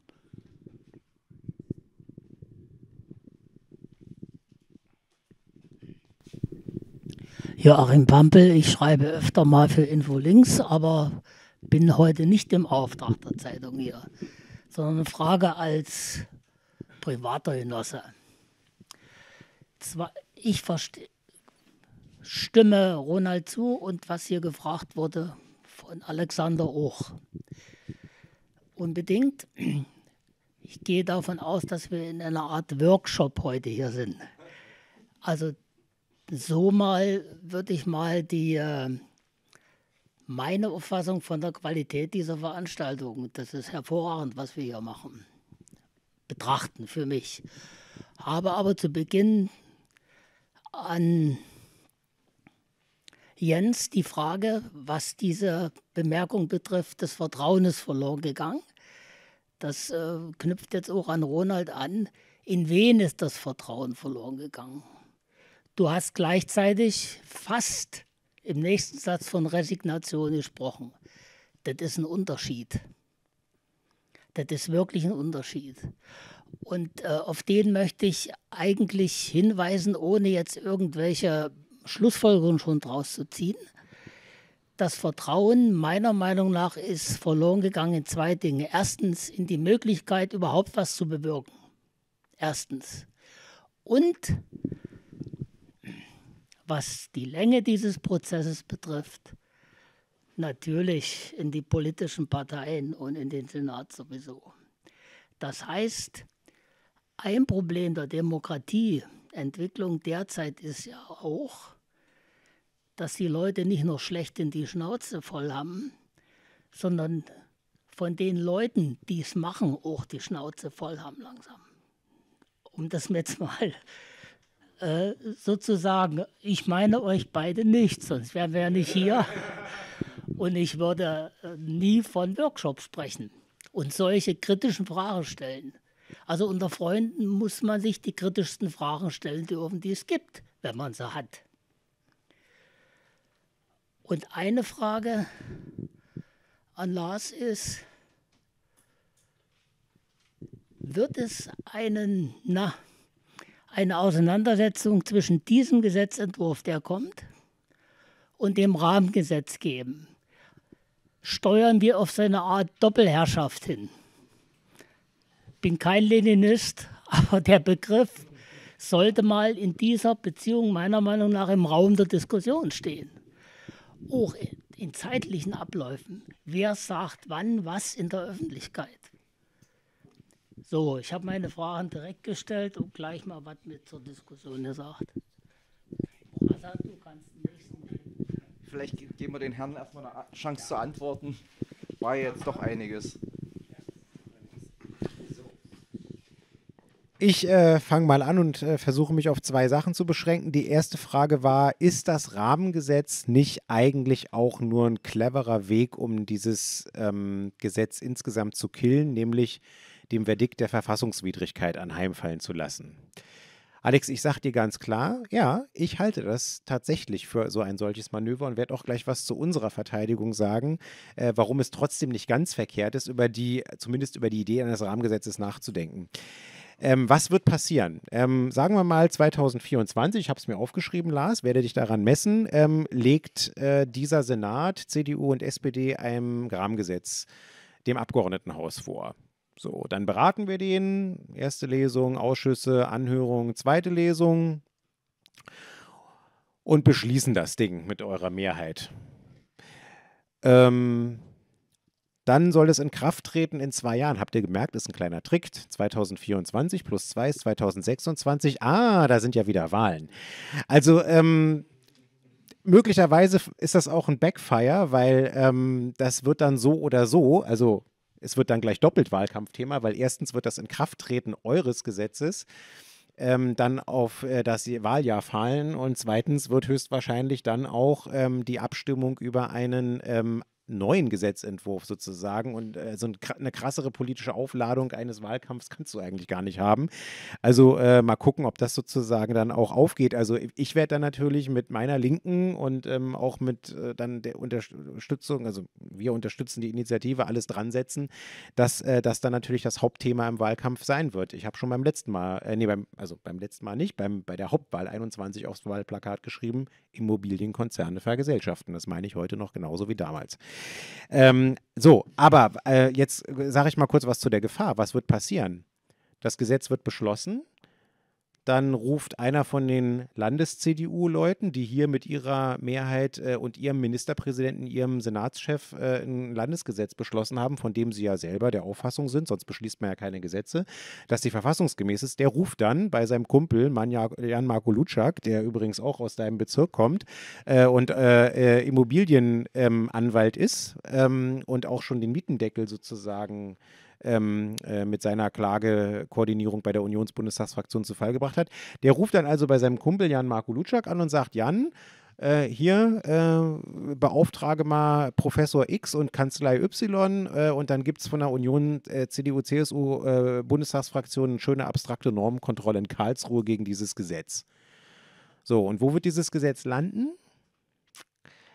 Es spricht sehr viel dafür, dass es ähnlich passieren wird wie mit dem Mietendeckel, dass es nämlich im zweiten Senat und nicht im ersten Senat landen wird. Und im zweiten Senat hat Herr Habert den Vorsitz, der ähm, Verfassungsgerichtspräsident inzwischen ist ähm, und äh, CDU-Politiker war, bevor er Verfassungsrichter wurde. Und der den Mietendeckel in seinem Senat äh, beendet hat, obwohl gleichzeitig der erste Senat auch an der Entscheidung gearbeitet hat. Und wenn uns nicht ein verfassungsprozessrechtlicher Trick einfällt, dann wird dieser Senat entscheiden. Und die dogmatische Qualität der Urteile des Zweiten Senats unter Herrn Habert, ich drücke es mal so aus, haben eine geringere Qualität als zu Zeiten des Zweiten Senats, wo zum Beispiel noch Dieter Grimm in diesem Senat gesessen hat, um es mal vorsichtig auszudrücken. Äh, mit anderen Worten, es besteht eine sehr reale Gefahr, dass mit einem dogmatisch völlig unzureichenden und nicht wirklich überzeugenden Urteil dieses Rahmengesetz, entweder auf der Ebene der formellen Verfassungsmäßigkeit, das kann ich mir kaum vorstellen, vor dem Hintergrund des Kommissionsergebnisses, aber vielleicht mit irgendwelchen herbeigezogenen Argumenten bei der materiellen Verfassungsmäßigkeit dann scheitert.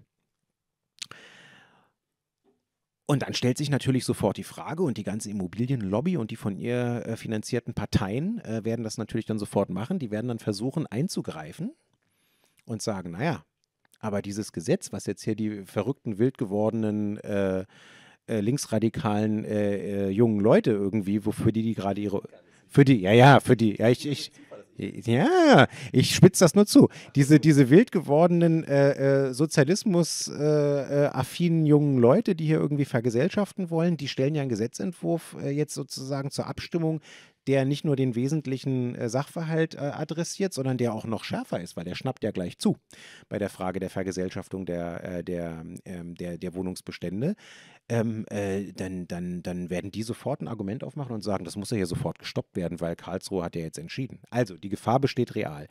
Ähm, Achim, das Problem der Doppelherrschaft besteht nicht. Das ist äh, bei uns gelöst. Das ist der Lex Posterior Grundsatz. Es gilt immer das jüngere Gesetz. Das heißt, ähm, wenn ähm, der Senat ein Rahmengesetz ähm, auf den Weg bringt, das dann vielleicht, ich habe ja gerade meine Einschätzung gesagt oder die Gefahr skizziert, aber das vielleicht doch ähm, verfassungsgemäß bleibt, weil es ja niemandem schadet, weil ein Rahmengesetz tut niemandem weh. Äh, dann äh, äh, und es kommt dann später das Gesetz erfolgreich zustande, was ihr ähm, auf den Weg bringt, dann gilt das später beschlossene Gesetz. Ende der Durchsage. Also das, da haben wir kein Problem. So, ähm, und die anderen Fragen waren direkt an euch äh, adressiert. Zum Thema Vertrauensverlust könnte ich auch jede Menge sagen, kneife ich mir aber jetzt an der Stelle, weil ich meinen Gästen das Wort geben will. Deswegen ähm, fangen wir mal bei Lars an, der äh, eben als Zweiter dran war, darf er jetzt als Erster, der darf jetzt irgendwie nochmal was zu sagen ähm, zu, die Fragen, zu den Fragen, die an ihn gestellt wurden und dann macht Justus den Abschluss. Ich würde gerne mit einem Kernargument aufräumen, weil da werden wir jetzt wahrscheinlich, wir beide heute Abend nicht mehr zueinander kommen, obwohl wir sonst immer irgendwie zueinander kommen. Ich bitte wirklich um Vertrauen, dass ich hier eine ehrliche Position politischer Art formuliere und dass es beim Gesellschaftungsrahmengesetz wirklich nicht um Verhinderung geht. Das ist nicht unser Ziel. Und wenn die INI parallel einen Volksentscheid macht und einen eigenen Gesetzentwurf vorlegt, bin ich nicht dagegen. Das können wir jetzt hier schon mal politisch festhalten. Ich wäre nicht dagegen. So, und wie das dann hinterher ausgeht, ob das dann wieder 60 Prozent Zustimmung in der Stadt findet, ich würde ein Fragezeichen machen, ich würde es mir sogar wünschen. Aber es geht uns mit dem Vergesellschaftungsrahmengesetz nicht darum, das kaputt zu machen oder zu verhindern oder auf die lange Bank zu schieben. Es geht uns darum, rechtssicher unterwegs zu sein, weil wir alle miteinander erlebt haben, wie wir die Bauchlandung mit dem Mietendeckel gemacht haben das lief einfach richtig scheiße und das sollte uns nicht nochmal passieren, weil Ronald hat es ja auch formuliert, Kommunizierbarkeit von Politik doch irgendwie auch eine Rolle spielt. Und ich verstehe die Sehnsucht, dass wir natürlich klarere Botschaften an die Leute bringen sollten. Aber diese Materie ist wahnsinnig komplex. Wir wären das erste Bundesland, ich wiederhole mich jetzt, aber ich will es nochmal pointieren, das Artikel 15 Grundgesetz zieht. Und da kann ich jetzt nicht hier irgendwie so ein Abenteuer starten und sagen, naja, wird schon gut gehen und alles Gute auf dem Weg, sondern da muss ich mir vielleicht mal zwei Jahre Zeit nehmen, bis ein Verfassungsgericht sagt, geht oder geht nicht. Und wir haben vorhin über die Wiederholungswahlen und auch über meinen Wahlkreis gesprochen. Was ich über das Landesverfassungsgericht denke, darf ich hier nicht sagen, will ich auch gar nicht sagen, aber können sich wahrscheinlich die allermeisten vorstellen. Nur es hilft doch nichts, jetzt mit Gerichtsschelte um die Ecke zu kommen und zu sagen, da sind die ganzen Konservativen, wie immer an Verfassungsgerichten, und die werden dann schon wieder irgendeinen Grund finden, warum wir das nicht dürfen. Ja, wahrscheinlich. Aber darauf muss ich mich doch vorbereiten und versuchen, das Beste rauszuholen. Deshalb Expertenkommission, um argumentativ standzuhalten und zu sagen, diesmal versaut ihr euch, versaut ihr uns diese Tour nicht.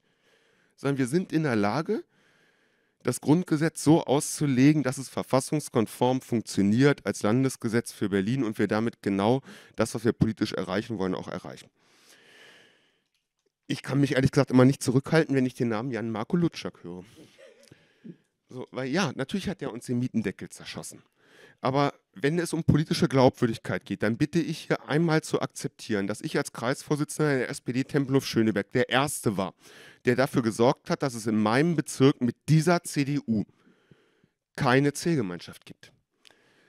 Ja, wir haben eine Zählgemeinschaft mit den Grünen unter Tolerierung der Linken, weil ich genau das nicht wollte und meinen politischen Einfluss geltend gemacht habe, zu sagen, mit dem Lutschak will ich hier nicht kooperieren und genauso kam es dann auch. Ja, auch das ist eine Form von politischer Glaubwürdigkeit, das zu tun, was man vorher ankündigt. Ich will nur noch kurz auf Achim antworten, weil ich dir einfach sehr, sehr dankbar bin, zu sagen, das ist hervorragend, was wir hier gerade tun. Das glaube ich ehrlich gesagt auch. Weil wenn ich zu solchen Veranstaltungen komme, habe ich natürlich immer Sorge, ich bin jetzt hier der Böse von der SPD, der die Senatspolitik verteidigen muss.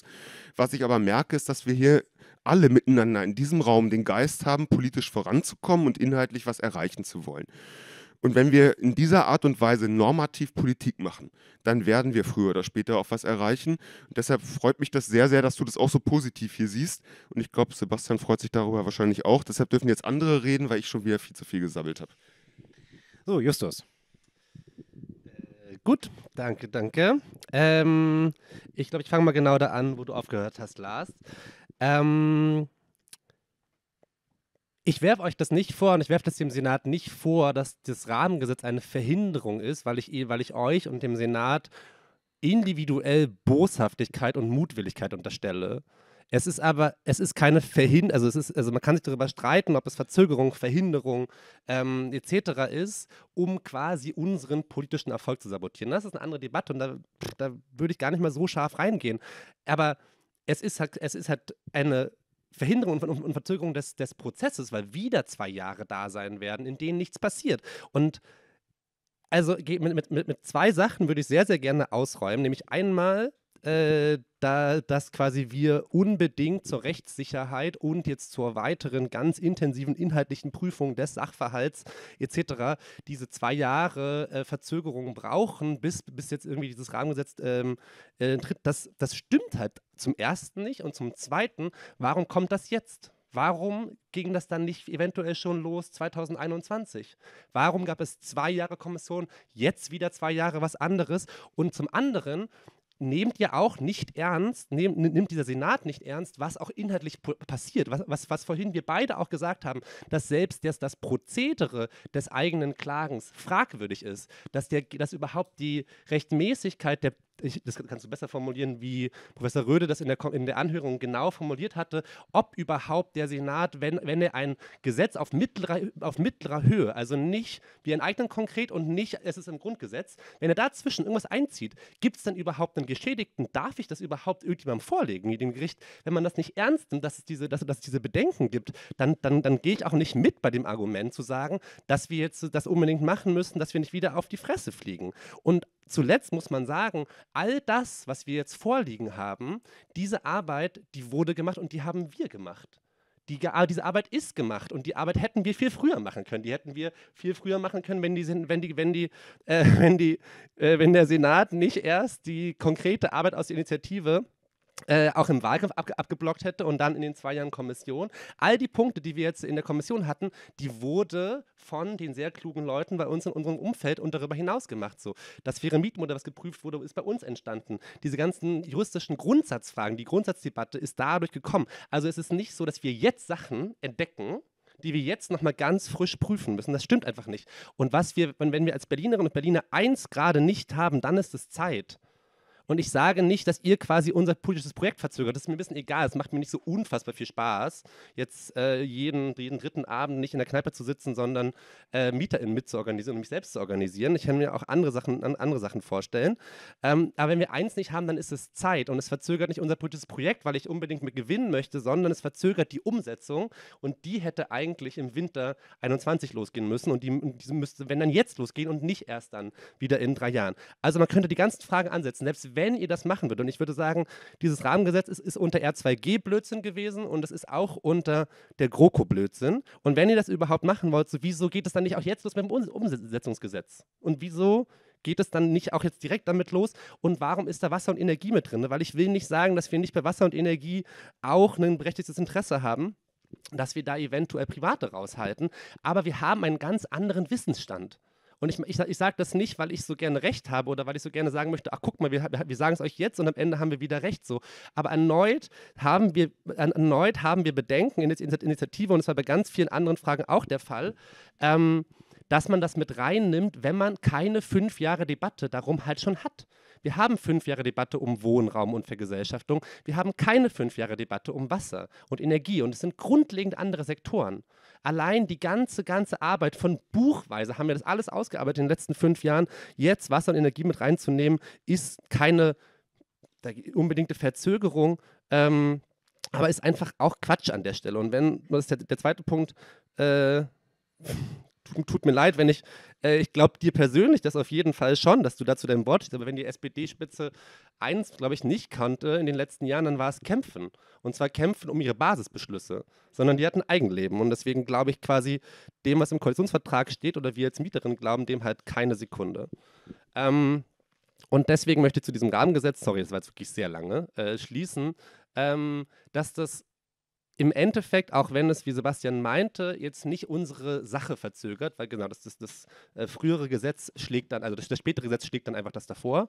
Ähm, aber was ich wirklich dramatisch finde, ist, dass es, da, dass, es, dass es die Bürgerinnen und Bürger täuscht. Es, es klingt so und es tut so, als ob es irgendwas macht, aber de facto macht es nichts. Und das, es, es verbessert die alltägliche materielle Situation der MieterInnen in dieser Stadt nicht. Und das ist eine Form von Verwirrung, eine, das ist eine Form von politischer Verwirrung, die wir nicht mehr mitmachen. Und das war auch ein Punkt, weswegen wir gesagt haben, jetzt machen wir es selber, weil dann können wir nämlich unser eigenes Gesetz ähm, daneben legen und dann haben die BerlinerInnen selbst die äh, Entscheidung, ähm, was quasi was quasi die Probleme in dieser Stadt löst, weil dann liegen sie nebeneinander. Das eine das nicht regelt und das eine, was ganz konkret ein, genau, etwas macht. Ja, jetzt hast du Jetzt hast du Lars nochmal herausgefordert, der zu einem Punkt was sagen wollte und ich werde dann nochmal bei dem Punkt Rahmengesetz ganz mies nachhaken, lieber Lars. Sehr gerne, freue ich mich jetzt schon drauf. Ich würde einfach für einen Punkt um Verständnis werben. Also wir beide koalieren nicht mehr miteinander, obwohl wir das gerne gemacht hätten. Trotzdem müssen wir ja hier progressiv politisch auf den Punkt kommen. Und es dreht sich doch immer um die gleiche Frage, gibt es diesen Vertrauensverlust, dass die SPD möglicherweise dann im operativen Doing nicht Wort hält, dass man versucht, das irgendwie wegzumoderieren und so weiter. Ich kann ja hier erstmal nur meine Positionierung und mein politisches Versprechen vortragen, aber ich will ein Stück weit daran erinnern, dass wir diese Diskussion in zwei Jahren seit dem Volksentscheid immer wieder miteinander geführt haben. Das war bei der Expertenkommission so. Na, ihr macht das ja nur, um es wegzumoderieren. Das ist keine zwei Jahre her und inzwischen haben wir ein Statement einer Expertenkommission, die sagt, es geht.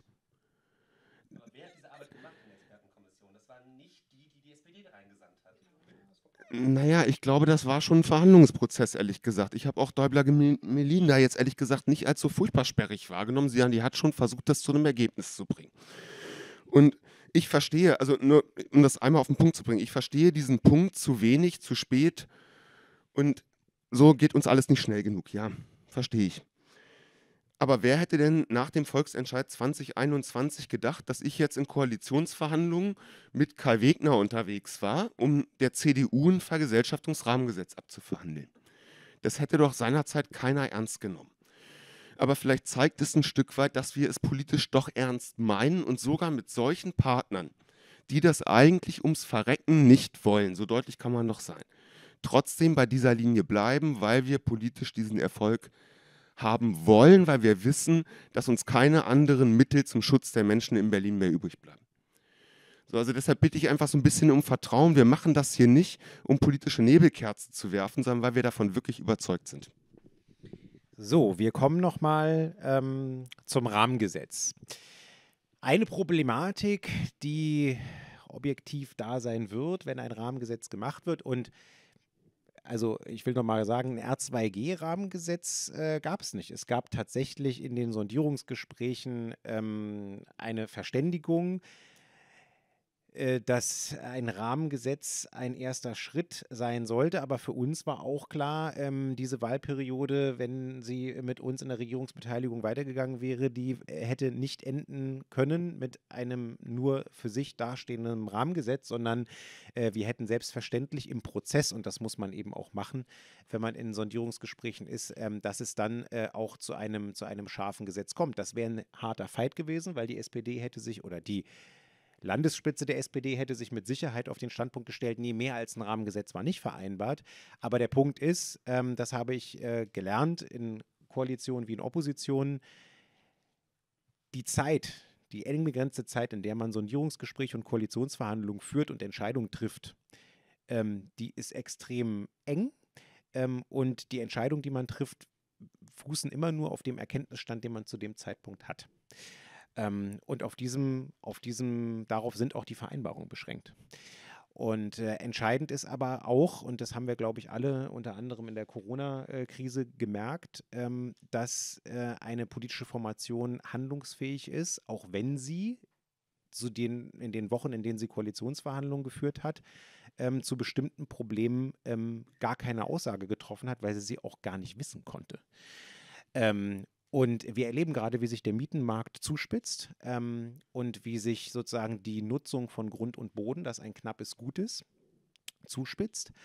Ähm, und äh, wenn wir jetzt irgendwie äh, gucken, wie wir 2026 dastehen werden, dann prophezei ich euch jetzt, 2016, also äh, wird dann zehn Jahre her sein, 2016 war eine Mietenwahl. Das war das entscheidende Thema bei den Abgeordnetenhauswahlen. Da steht es auch nochmal drauf, bezahlbares Wohnen statt 100, auch eine konkrete Wahlaussage, äh, mit der hier gewählt wurde. Ähm, und 2026 werden wir über eine ganz andere Dynamik und über eine ganz andere Knappheit und über eine ganz andere Wohnungsnot reden als noch 2016.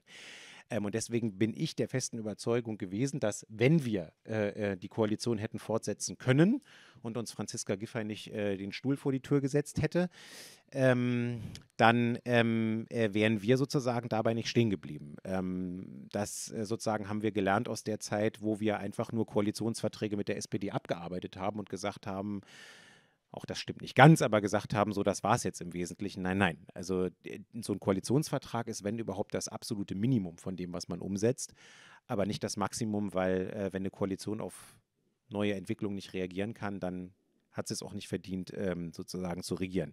Das ist immer so ein bisschen das eine. Aber ich komme jetzt nochmal zurück zum Rahmengesetz. Es gibt einen wesentlichen Unterschied zwischen Artikel 14 und Artikel 15 Grundgesetz. Artikel 14 Grundgesetz bei den Enteignungen sagt, enteignet werden kann aufgrund eines Gesetzes. Die Vergesellschaftung sagt, es wird vergesellschaftet durch Gesetz. Wenn man so ein Rahmengesetz macht, dann steht das da, dann formuliert das den Anwendungsbereich, die Zielstellung des Gesetzes und vielleicht sogar Entschädigungsfragen aber es führt selbst keine Vergesellschaftung herbei. Das Grundgesetz sagt aber, es muss durch Gesetz vergesellschaftet werden. Das ist also ein Unterschied. Bei einer Enteignung, bei einer Enteignung hat man auf, es gibt das Berliner Enteignungsgesetz. Das könnt ihr nachgucken und in diesem Enteignungsgesetz steht auch, in Anführungszeichen wie in einem Rahmengesetz drin, unter welchen Bedingungen welche Gegenstände enteignet werden können und wie die Entschädigung zu laufen hat. Das ist alles ganz detailliert geregelt. Ich habe auch mal bei der Enteignungsbehörde hospitiert. Die sitzt nämlich äh, äh in der Senatsverwaltung für äh, Stadtentwicklung, als äh, Katrin Lomscher da noch äh, das, äh, das, Haus hatte. Habe ich mich mit den Leuten mal unterhalten und mich informiert, wie läuft das eigentlich so, wie, wie funktioniert das in der Praxis. Das Gesetz kann ich lesen, aber wie läuft es denn bei euch? Ähm, wenn sich jemand wehrt gegen so eine Enteignung, dann macht er das nicht gegen das Gesetz, sondern dann macht er das aufgrund des ausführenden Verwaltungsaktes, der ihm nämlich auf Grundlage dieses Gesetzes, nach Grundgesetz und dann Landesgesetz, ähm, eben das Eigentum wegnimmt.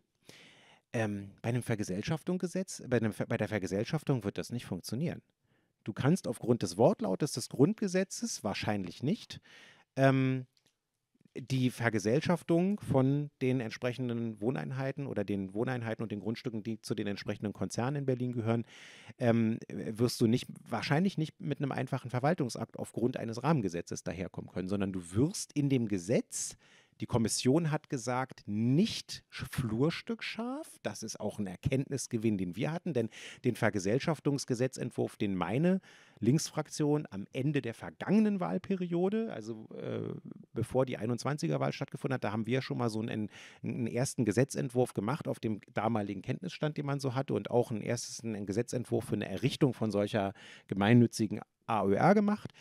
Damals sind wir als Linke noch davon ausgegangen, dass man nach dem, was bisher die Rechtswissenschaft gesagt hat, tatsächlich sogar die Flurstücke benennen muss im Gesetz. Da sind wir jetzt schlauer geworden. Lernkurve. Die Kommission hat gesagt, nein, nein, die Flurstücke musst du nicht reinschreiben, aber du musst schon durch Gesetz vergesellschaften. Also das Gesetz muss schon so scharf sein, so konduriert sein, dass dem Adressat, dem Unterworfenen dieses Gesetzes, denjenigen, den es trifft, klar ist, mein Eigentum ist jetzt hier gemeint, was jetzt wegkommt und entschädigt wird. Und ich wette um alles, was ich hier in der Tasche habe, dass das Rahmengesetz, was der CDU-Finanzsenator Evers federführend ähm, mit der SPD verhandeln wird, dass es diese Schwelle nicht nehmen wird. Und dann haben wir genau das, was Florian Rödel, Professor Dr. Florian Rödel, aus der Expertenkommission gesagt hat, dann haben wir für Karlsruhe schon eine gewisse Schwierigkeit, in der abstrakten Normkontrolle zu prü also überhaupt zu einem Ergebnis zu kommen und zu sagen, ich habe hier überhaupt etwas, was ich formell und materiell äh, Normen kontrollieren kann. Ähm, ich glaube persönlich, dass äh, die Gefahr groß ist, das habe ich ja vorhin schon gesagt, dass der zweite Senat mit ähm, der Mehrheit, die auch den Mietendeckel aus ordnungspolitischen und machttaktischen Gründen gekillt hat, vielleicht auch irgendeinen völlig absurden, aber dann am Ende des Tages ja gültigen, gültigen Weg finden könnte, um zu sagen, schon dieses Rahmengesetz ist verfassungswidrig. Weil machen wir uns doch nichts vor. Ich benutze jetzt mal den Begriff. Schon der Mietendeckel, aber erst recht dass äh, der Vergesellschaftungsvolksentscheid ist zu Recht äh, Klassenkampf von unten. Das ist Notwehr und es geht an das Eingemachte dieser Republik. Es geht an das Eigentumsrecht, an das Eigentumsgrundrecht. Und es entzieht den Leuten, da vorne ist ein Block Deutsche Wohnen, äh, den könnt ihr euch wunderbar angucken in der Bogenhagenstraße. Ähm, er entzieht diesen kapitalmarktorientierten Gesellschaften das zentrale, das, das zentrale, den zentralen Gegenstand ihres Geschäftsmodells. Er nimmt ihnen Grund und Boden weg, mit dem sie ähm, im Einklang mit der löcherigen Mietpreisbremse ähm, die die CDU maßgeblich löcherig gemacht hat, ähm, nimmt ihnen die Möglichkeit, äh, mit diesem Grund und Boden die Mieterinnen und Mieter alle zwei Jahre auszupressen, wie eine Zitrone. Und wenn eure Berechnungen, glaube ich, richtig sind und die sind auch von anderen Leuten kontrolliert worden, gegengecheckt worden, dann fließen monatlich, äh, fließt monatlich ein Drittel ein Drittel der Miete, die die Leute bei Deutsche Wohnen und Vonovia zahlen, direkt in die Dividende der Aktionäre. Und da will dieser Volks, da will diese Volksinitiative, da wollen auch wir Linke und da wollen auch, es hat Lars ja gesagt, auch die SPD-Linken, die wollen daran. Und da geht es ans Eingemachte. Und da werden die sich mit allem, was sie haben, wehren. Mit ihren Polit die Immobilienlobby, die Eigentümerlobby, die werden sich mit ihrem parlamentarischen Arm in der FDP, in der CDU, CSU, mit allem, was sie haben, dagegen wehren. Denn wenn das hier klappen sollte und auch noch von Verfassungsgerichten sozusagen zugelassen würde, dann haben wir hier, dann haben wir hier wirklich eine Welle, die losgehen wird, weil dann wird sich kaum ein CDU-Ministerpräsident in irgendeinem anderen Bundesland, äh, wird, wird, also der wird es dann schon extrem schwer haben, dann auch noch sozusagen sich so einer Sache entgegenzusetzen, beziehungsweise dann wird aber sofort, äh, die Frage kannst du vielleicht auch noch beantworten, weil die kam nämlich auch noch, ähm, dann wird es nach meiner Perspektive äh, ein Lauffeuer geben in allen anderen Bundesländern, zumindest in den Bundesländern, in denen direkte Demokratie in ähnlichen Umständen wie hier erlaubt ist. Dann wird da sofort die Bewegung von unten kommen und dann wird jeder CDU-Ministerpräsident ganz, ganz große Probleme haben, sich hinzustellen und zu sagen, ja, in Berlin wurde es gemacht, es funktioniert technisch und finanziell. Karlsruhe hat es erlaubt, aber ich sage hier in Nordrhein-Westfalen oder sonst wo, nein, nein, Deutsche Wohnen und Vonovia dürfen weiterhin Rendite, äh, Rendite-Zitronen äh, aus ihren Mieterinnen und Mietern machen. Das wird natürlich nicht funktionieren. Und deswegen geht es hier ums Eingemachte in Berlin. Äh, genau, das wäre die perfekte Überleitung zu dem Punkt. Äh, wir sind auch da noch nicht untätig. Wir haben eine sehr, ähm, genau, eine, eine ähm, finde ich, sehr tolle Schwesterkampagne in Hamburg, ähm, die seit äh, mittlerweile, glaube ich, anderthalb Jahren Politik macht. Sie hat sich, ähm, ich kenne die Gründe gar nicht, sie hat sich nicht Deutsche Wohnen und Co. enteignen Hamburg genannt, sondern Hamburg enteignet äh, hat, wollten sich, glaube ich, stärker betonen, dass sie es tun als Hamburgerinnen und Hamburger. Ähm, und was ich auch sehr spannend finde, ist, dass ähm, nicht im Wohnbereich, aber im Rheinland, in Köln, gibt es eine noch sehr kleine Gruppe, die eher aus der Klimabewegung kommt, die äh, RWE und E.ON angreifen möchten und quasi in einem anderen Bereich der Daseinsvorsorge, in der Energieversorgung, diesen Artikel 15 ähm, ja, austesten möchte. RWE und Co. enteignen heißen die. Und das ist total spannend, weil ähm, quasi, auch wenn es noch keine so dolle Bewegungsdynamik gibt, wie wir als außerparlamentarische Bewegung jetzt hier irgendwie jetzt seit fünf Jahren aufs Tableau gelegt haben, ähm, ist es genau das, was, was auch hier an, angedeutet wurde. Dieser vergessene Paragraph im Grundgesetz äh, deutet schon jetzt darauf hin, was eigentlich in, in, in unserer Zeit und in der aktuellen Krisensituation, in der wir stehen, in den vielen, vielen Krisen, in denen wir stehen und den Belastungen für alle MieterInnen und BürgerInnen und WählerInnen eigentlich an Dimension haben von staatlicher und kollektiver Handlungsmöglichkeit, ähm, die wir einfach aus verschiedensten Interessen nicht nutzen. Und ich glaube, da werden verschiedenste Teile von Bewegungen nicht stillstehen, genau wie du meintest, ähm, das weiter voranzutreiben. Ähm, aber das ist so die eine Kehrseite, das ist so unsere, unsere Seite als Bewegungen, aber äh, auch so gab es ja äh, dolle Resonanz bundesweit auf, die, auf unsere Initiative, schon immer, aber mh, hm, auch sehr stark seit 2021, aber jetzt auch äh, weiter stetig. Äh, es gibt natürlich viele Progressive in ganz, ganz, ganz vieler Couleur, also von Linksfraktionen in Landtagen oder einzelnen fachpolitischen SprecherInnen, von irgendwie mietenpolitischen Gruppen in Hamburg, Stuttgart, München, Frankfurt, äh, Rheinland, überall, die sich positiv darauf beziehen.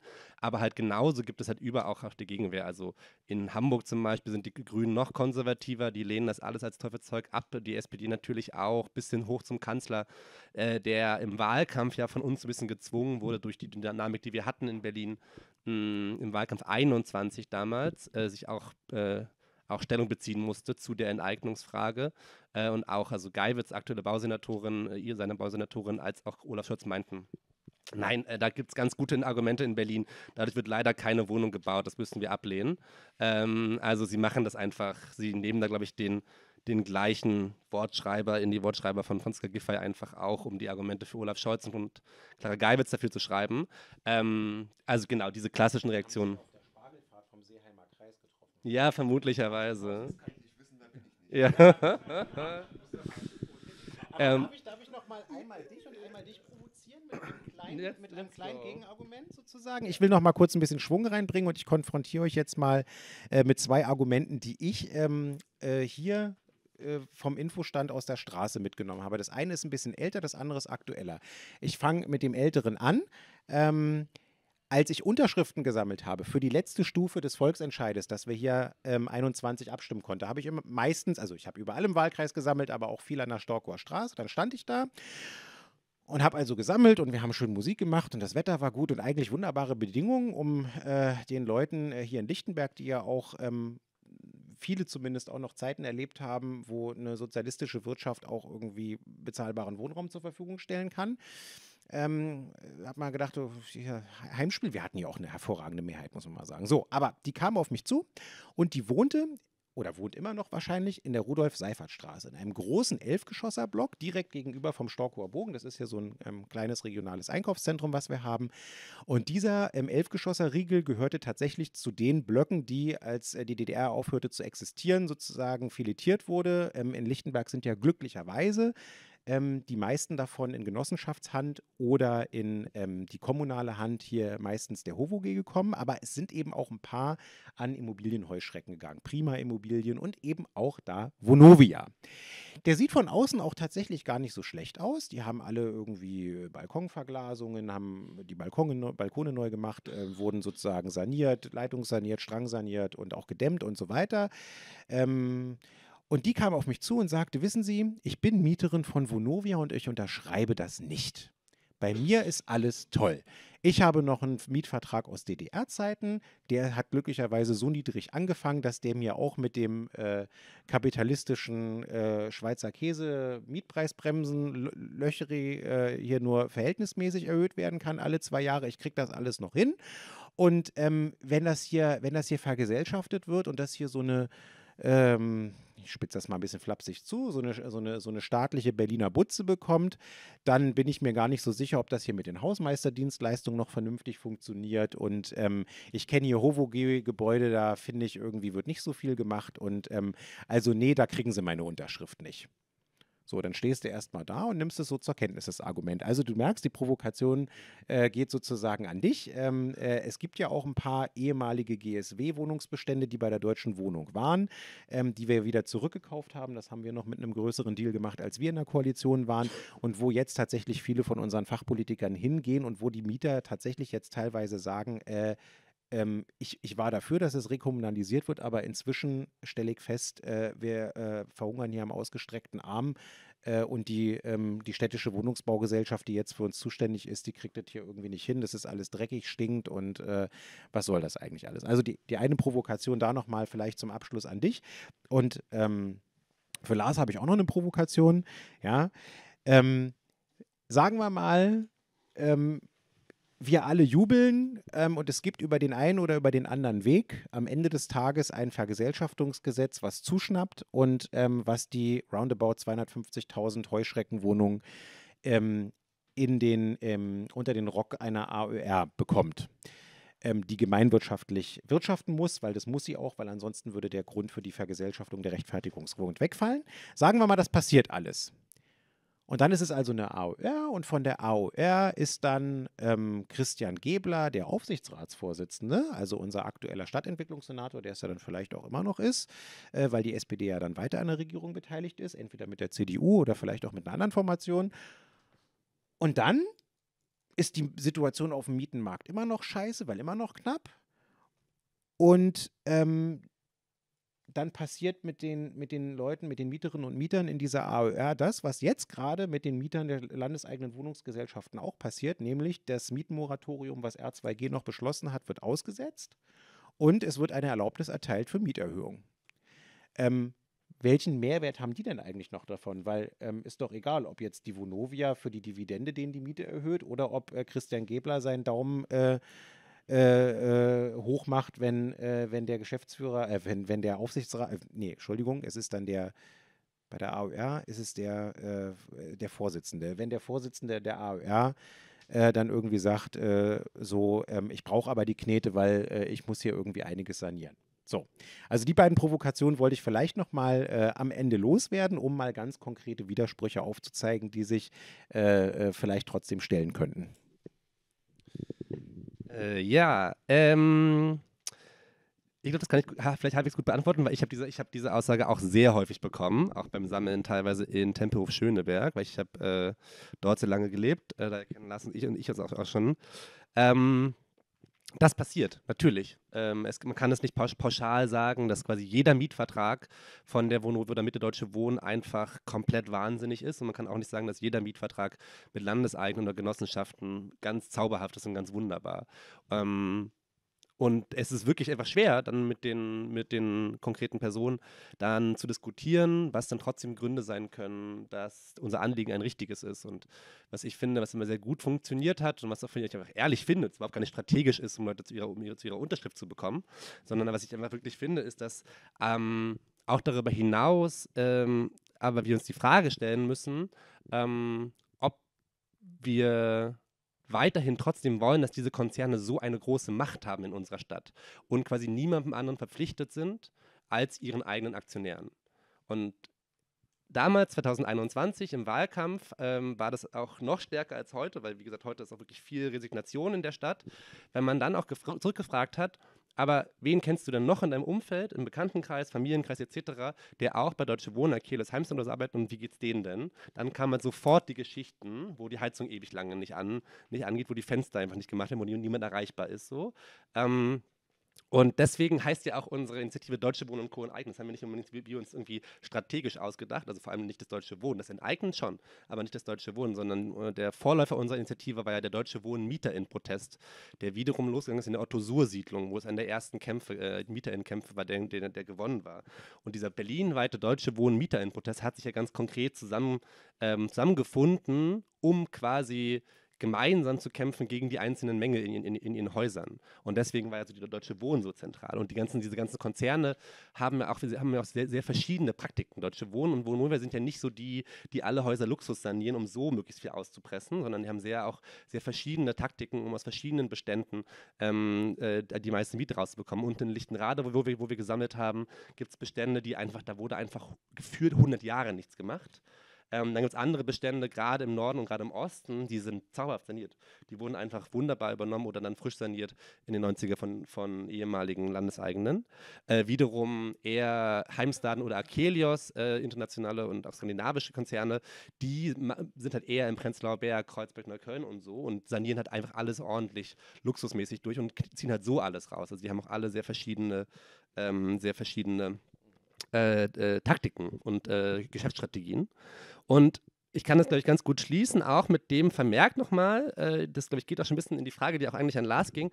Wir wollen diese Wohnungen auch nicht wieder verstaatlichen. Wir wehren uns ja immer, immer wieder sehr konkret dazu, einfach zum Beispiel auch so auf so Ideen, ähm, die immer wieder auch hochkommen, einfach diese Wohnungen, die wir dann äh, enteignen und vergesellschaften, anteilig den landeseigenen Wohnungsbaugesellschaften zuzuschlagen. Das wollen wir nicht wir wollen nicht, also das ist ja der, die, die dritte Säule der Vergesellschaftung, neben der Überführung von Eigentum, der Enteignung, dann neben der Änderung vom Wirtschaftszweck, von der Privatnützigkeit nur zum, zum Wohle der Eigentümer von Deutsche Wohnen, irgendwelchen Aktionären, die irgendwo sitzen, hin zur Gemeinwirtschaft und der Demokratisierung der sogenannten Verfügungsgewalt, also der Demokratisierung, was passiert eigentlich mit diesen Wohnungen. Also es ist auf einem sehr hohen Scale eigentlich eine Mischform zwischen Elementen, die wir aus Genossenschaften kennen, die wir aus der historischen Rätebewegung kennen, die eng mit der Arbeiterinnenbewegung verknüpft ist und mit aktuellen Bewirtschaftungsstrukturen, die wir in Berlin kennen, auch bei Landeseigenen. Und deswegen haben wir auch ein Modell vorgelegt. Und solange unsere Initiative in, in, in, äh, besteht und solange wir politisch äh, kämpfen werden, werden wir auch immer dafür kämpfen, dass dieses Modell umgesetzt wird. Nämlich dann hat nämlich nicht die Politik in dem Aufsichtsrat oder in dem, dem Verwaltungsrat dieser AOR das Sagen, sondern wir haben ein Modell vorgelegt, was sehr konkret darauf aus ist, dass die Politik nämlich äh, mit Finanzsenator und Bausenator und äh, Senator nur zwei Sitze hat von elf in diesem Verwaltungsrat und dass quasi die MieterInnen fünf haben, die Beschäftigten fünf haben und die Stadtgesellschaft zwei.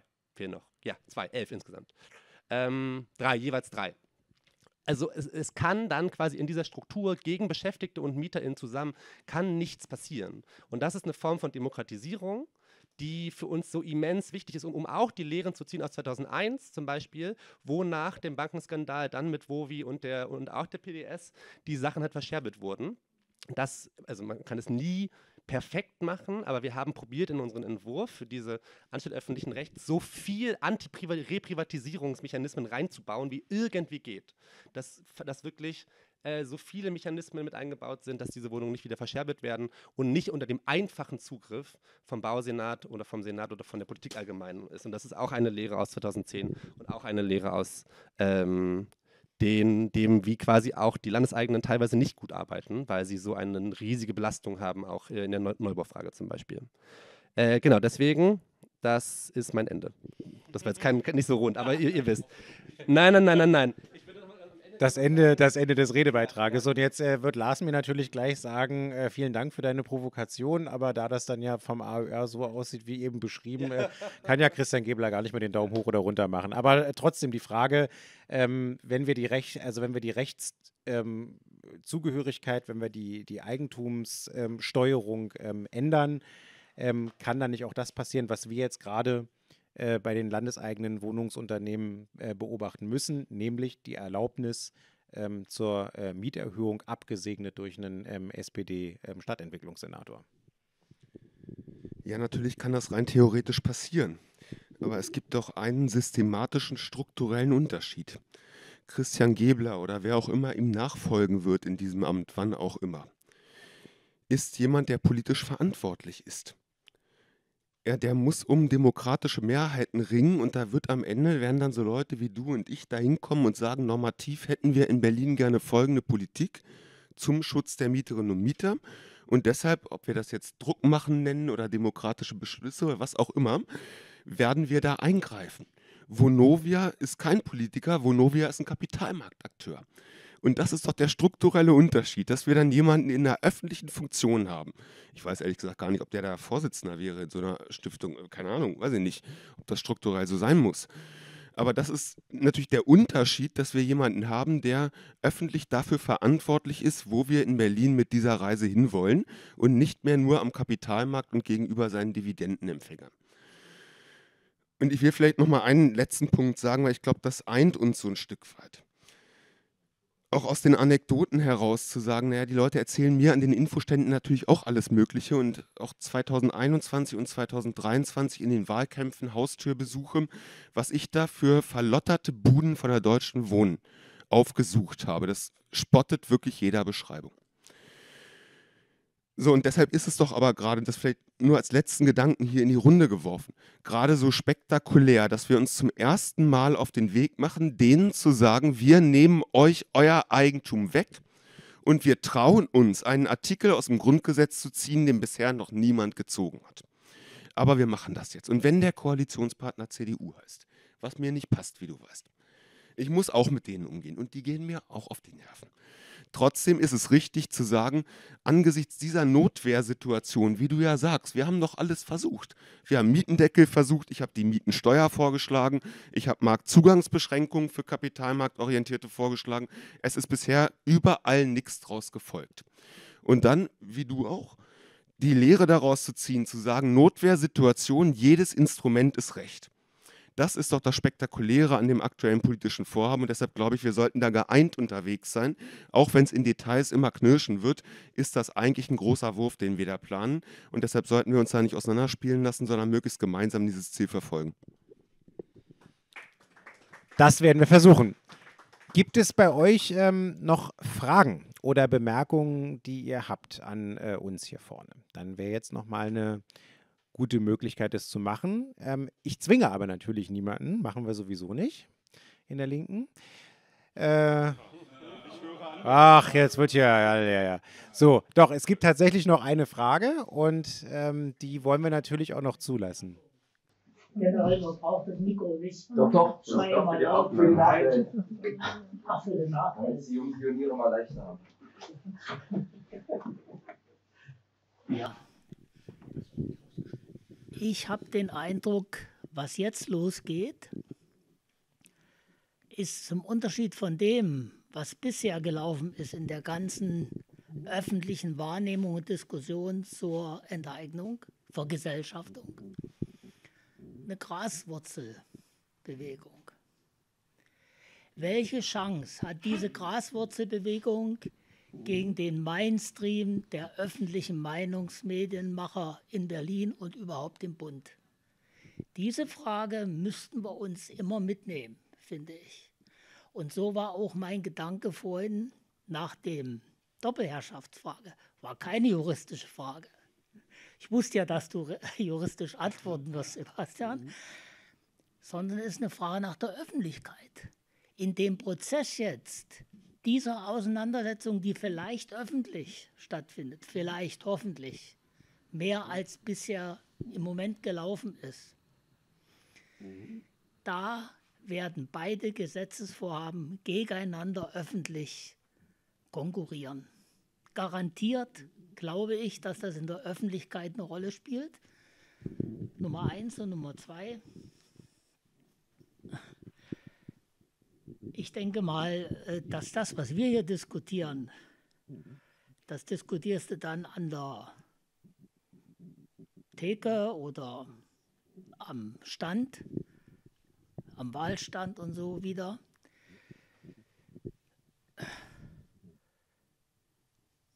Ja. Aber wie kommt es an? Wir dürfen nicht nur juristisch argumentieren. Da renne ich jetzt offene Türen ein, das ist klar. Aber das wird eines unserer Hauptprobleme sein. Und ich finde mal, der Öffentlichkeit sollte eine Forderung stehen, nach allem, was ich jetzt gehört habe über Mieterhöhung und so weiter. Vielleicht schafft es die Initiative in der Diskussion mit ihren Gesetzesformulieren mal einen Vorschlag zu machen, wenn sie durchkommen, wie hoch oder wie niedrig die Mieten dann sein könnten. Damit kriegen wir die Leute in die Diskussion und vielleicht auch hinter uns. Das, das wollte ich nur sagen. Und weil gerade in der Diskussion hier die Rolle war von die Provokation, die du gestellt hast, ähm, Sebastian. Ja, der Staatskonzern HOVOG, ich sage es mal so, wie es ist. Und der Hausmeister, da, den es ja nicht mehr gibt in der HOVOG, naja, ja, der ist aber sonst wo. Ich glaube, der ist ein irgendeiner Hausmeister, also mein Hausmeister, mein, ja, nee, nee, mein Hausmeister, der sitzt irgendwo, na, früher hätte ich gesagt, in Bonn oder wo sie noch Immobilien haben. Das haben sie alles ausgelagert. Für eine normale Steckdosenreparatur. Ich mit meinen zwei linken Pfoten gehe an keine Steckdose mehr ran, ist doch klar. Früher habe ich das, früher habe ich das alles selber gemacht, ja, gut. Ja, ich habe mir, ich habe mir, Ronald, ich habe mir unter DDR die Finger verbrannt, ist klar. Da brauchst du vier Wochen, weil der Konzern so aufgestellt ist. Wird diese Anstalt des öffentlichen Rechts, Rechts wird dies besser machen? Das ist die Frage, die wir auch in der Diskussion vorbereiten müssen. In der öffentlichen Kampagne, die ihr jetzt vorhabt. Lange Rede, kurzer Sinn. Wir müssen dann auch so. Eigentlich schließt sich das so ein bisschen daran an, wie man später dann argumentiert, wenn die Gesetze oder die Abstimmung irgendwie in die Öffentlichkeit gegeben werden und es nochmal eine Volksabstimmung gibt. Und da habe ich viel auch darüber nachgedacht, über dieses Argument, es entsteht keine neue Wohnung. Und ich denke da eher gesamtwirtschaftlich für die Stadt. Meine, man hört in den Nachrichten, dass teilweise neue Arbeitskräfte, die wir hier brauchen, Fachkräfte, die ihre Jobs in Berlin nicht antreten können, weil sie keine Wohnung finden. Das ist ja ein wirtschaftlicher Verlust für die Stadt. Ähm, und gleichzeitig, wenn wir sehr hohe Mieten bezahlen als Mieter in Berlin, oder einen Großteil davon, verlieren wir damit der Kaufkraft, um das Geld dann im Laden nebenan auszugeben. Plus alle die, die unterstützende Leistung haben, Wohngeld oder ähm, Hartz IV heißt ja nicht Bürgergeld. Da heißt ja, das bedeutet ja, dass die Stadt diese Mieterhöhung immer bezahlen muss. Ich weiß nicht, ob man das statistisch finanziell überhaupt erfassen kann, dass wenn es eine Mieterhöhung bei den Privaten gibt, was das eigentlich für Auswirkungen hat, auch finanziell auf die Stadt und damit den Steuerzahler, denn die Stadt sind wir ja. Wir mit unseren Steuern bezahlen ja das Ganze. Also muss ich mehr Steuern bezahlen, damit die Deutsche Wohnen ihren Aktionären mehr auszahlen kann.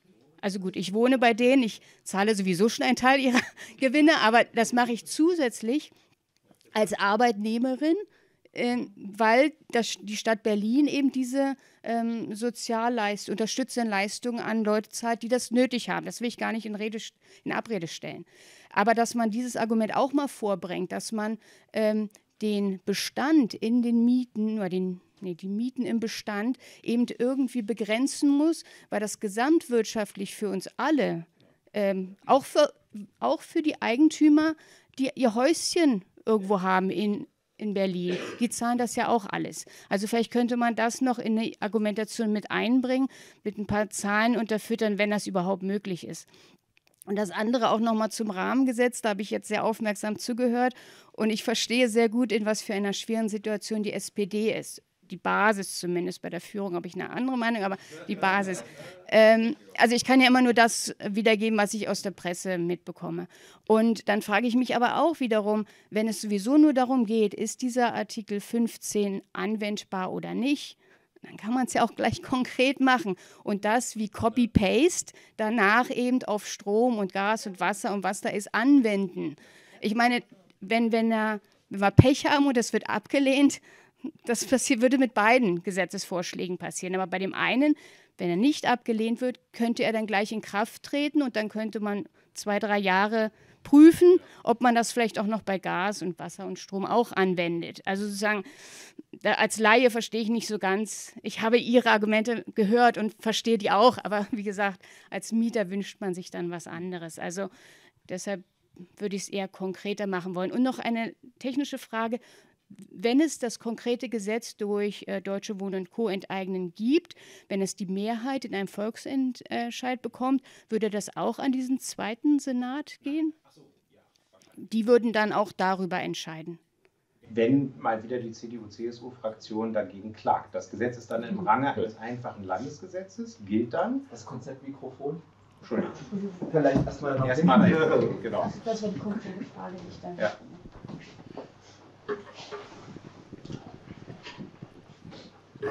Ja, ich finde auch gut, dass die Veranstaltung gemacht wird und auch gut, dass sich ein Mitglied der SPD hier stellt.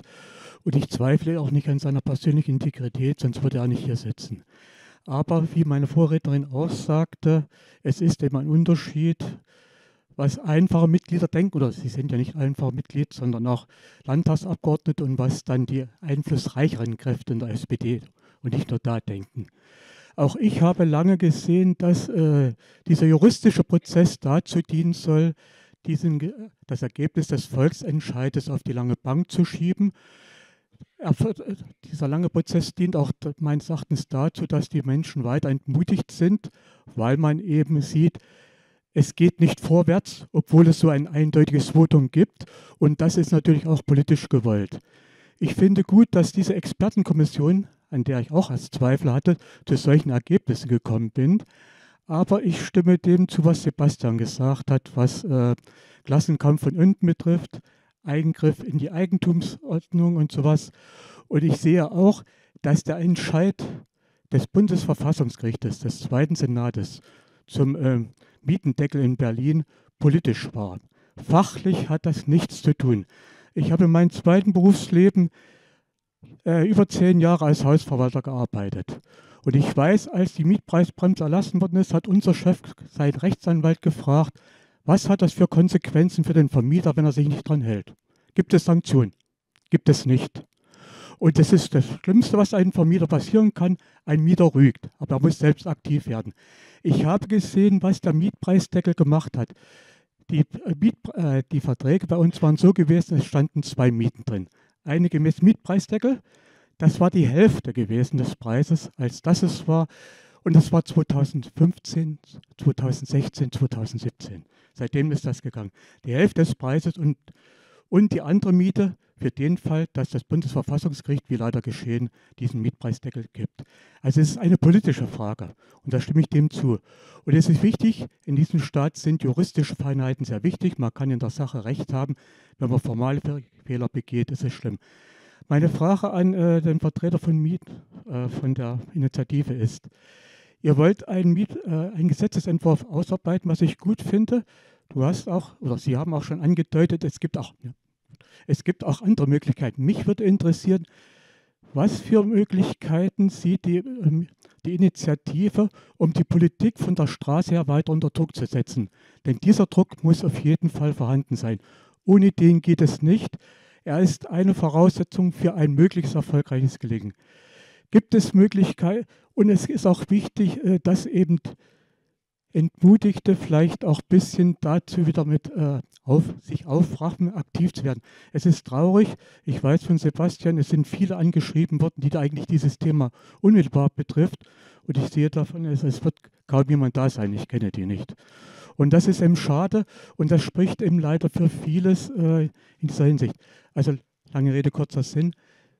Welche Maßnahmen, praktische Maßnahmen äh, hat die Initiative im Petto, um eben von der Straße Druck aus auf die Politik auszuüben.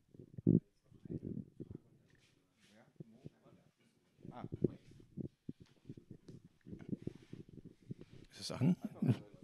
Ja, gut. Äh, also ich wohne da drüben bei Deutsche Wohnen. Also als ich dort eingezogen bin, da war es noch GSW. GSW war ja auch so ein Ergebnis von Rot-Rot. Aber GSW war dann, als ich dort eingezogen bin, das war fast ein Paradies, würde ich mal jetzt sagen. Und ich sag mal, ich will, da hinaus, um mal zu zeigen, was Druck bewirken kann. Und zwar als, als positives Beispiel, weil kam vorhin so eine Art Resignation durch. Also GSW, also ich habe mir auch keiner weiter Gedanken gemacht. Es gab eine Mieterzeitung, es gab einen Hausmeister. Den Hausmeister, den kannte ich vom Sehen. Wenn ich Termine gemacht habe, das habe ich früh auf der Straße gemacht, weil ich den auch immer gesehen habe, weil der auch ein recht kleines Einzugsgebiet hatte. Deswegen hat man den auch öfters gesehen. Dann wurde plötzlich GSW an die Deutsche Wohnen verkauft. Plötzlich hat sich einiges geändert von heute auf morgen.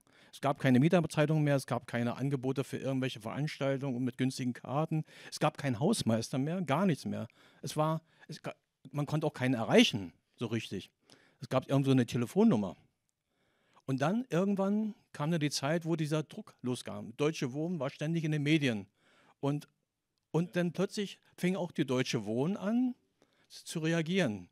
Da kamen plötzlich zwei oder drei, nach, ich weiß nicht, längeren Zeitraum, so eine Art Werbe, Werbe, Werbezeitung. Das waren so eine großen Plakate, die man zusammenfalten konnte. Da dachte ich, wow, schön bunt und von der Werbeagentur gestaltet mit so, ich weiß gar nicht was, also ich habe alles mal aufbewahrt, so mit äh, heißen Tipps, wie man Schimmel oder wo man sich hinwenden kann und so weiter. Also es war aber, damit konnte man nicht viel anfangen. Dann kam irgendwann eine Erfolgsmeldung. Es gibt, also hier Lichtenberg, in Marzahn haben wir wieder ein Büro eröffnet. Da gibt es richtige Menschen, also die man richtig ansprechen kann. Da dachte ich, toll, fahre ich nach Marzahn hin. Und irgendwann, viel später, hat man zwar wohl gemerkt, dass das reicht nicht. Es gibt wieder einen Hausmeister hier. Den habe ich zwar bis jetzt heute nicht gesehen, aber es gibt wieder einen Hausmeister, den man irgendwie telefonisch erreichen kann. Also ich dachte, oh, das sind die Reaktionen. Vorher war gar nicht und plötzlich kam wieder Reaktion. Und dann äh, habe ich dieses Jahr zum ersten Mal eine Mieterhöhung bekommen. Und irgendwie läuft da strukturmäßig in diesem Verein läuft einiges schief, weil also ich musste darum kämpfen, dass ich meine Zustimmung loswerden konnte. Ich habe das prüfen lassen, aber das ging gar nicht. Also ich, ich hatte viermal oder fünf, viermal, glaube ich, Mahnung bekommen mit Androhung vom Gericht und dachte, was soll ich noch alles machen? Also soll ich das persönlich hinbringen und vom, vom Notar beglaubigen lassen oder sonst was. Und dann gab es noch dicke, also die, die, Briefe wurden ja immer dicker. Und da, da, merkt man auch, dass sie sich darauf eingestellt haben. Da waren diese ganze Vereinbarung vom Senat mit drin gewesen, mit 30 Prozent. Und dann kann man darüber reden, dass die Miete und so, die haben die auch darauf eingestellt. Ne? Also die haben sich darauf eingestellt. Die anderen, die hatten öffentlich noch nicht diesen Druck gehabt, weil sie nicht konkret genannt worden sind. Aber Deutsche Wohnen, die wurden genannt. Und wenn man da permanent Druck ausüben kann oder gemacht wird, dann kann man auch was erreichen. Ich wollte das nur mal aus dem Blickwinkel eines sagen, der, ich habe mich nicht so groß drum gekümmert, weil bis jetzt, solange ich gearbeitet habe, konnte ich das auch bezahlen. Jetzt bin ich Rentner, jetzt, jetzt, wird's, jetzt muss ich mich kümmern. Jetzt muss ich mich drum kümmern. Aber, es, aber das habe ich so, sozusagen in diesen zehn Jahren, die ich jetzt hier wohne, sozusagen erlebt. Wow, Druck kann was bringen. Öffentlicher Druck bringt was.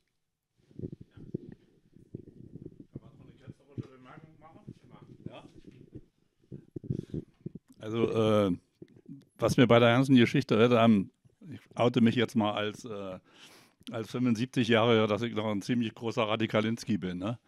Das Schönste, was hier oben drauf steht, ist Enteignen.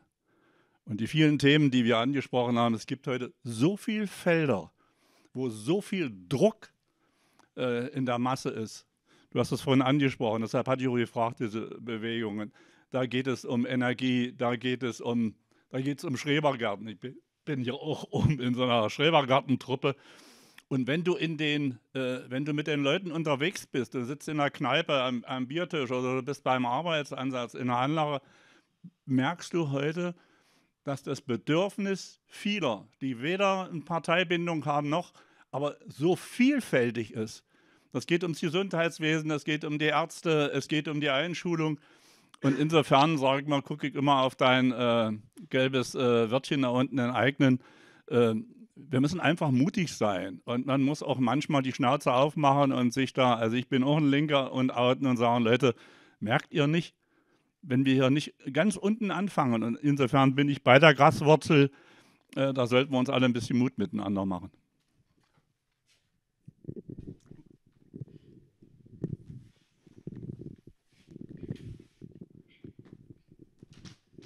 Ja, vielen ähm, herzlichen Dank. Ähm, es gab noch ein, zwei Fragen, die wir bestimmt elegant in das jeweilige Schlussstatement einbinden können.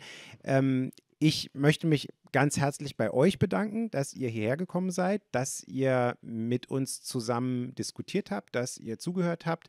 Ich hoffe, jeder konnte sich ein Stück weit auf den Stand der aktuellen politischen Auseinandersetzung bringen.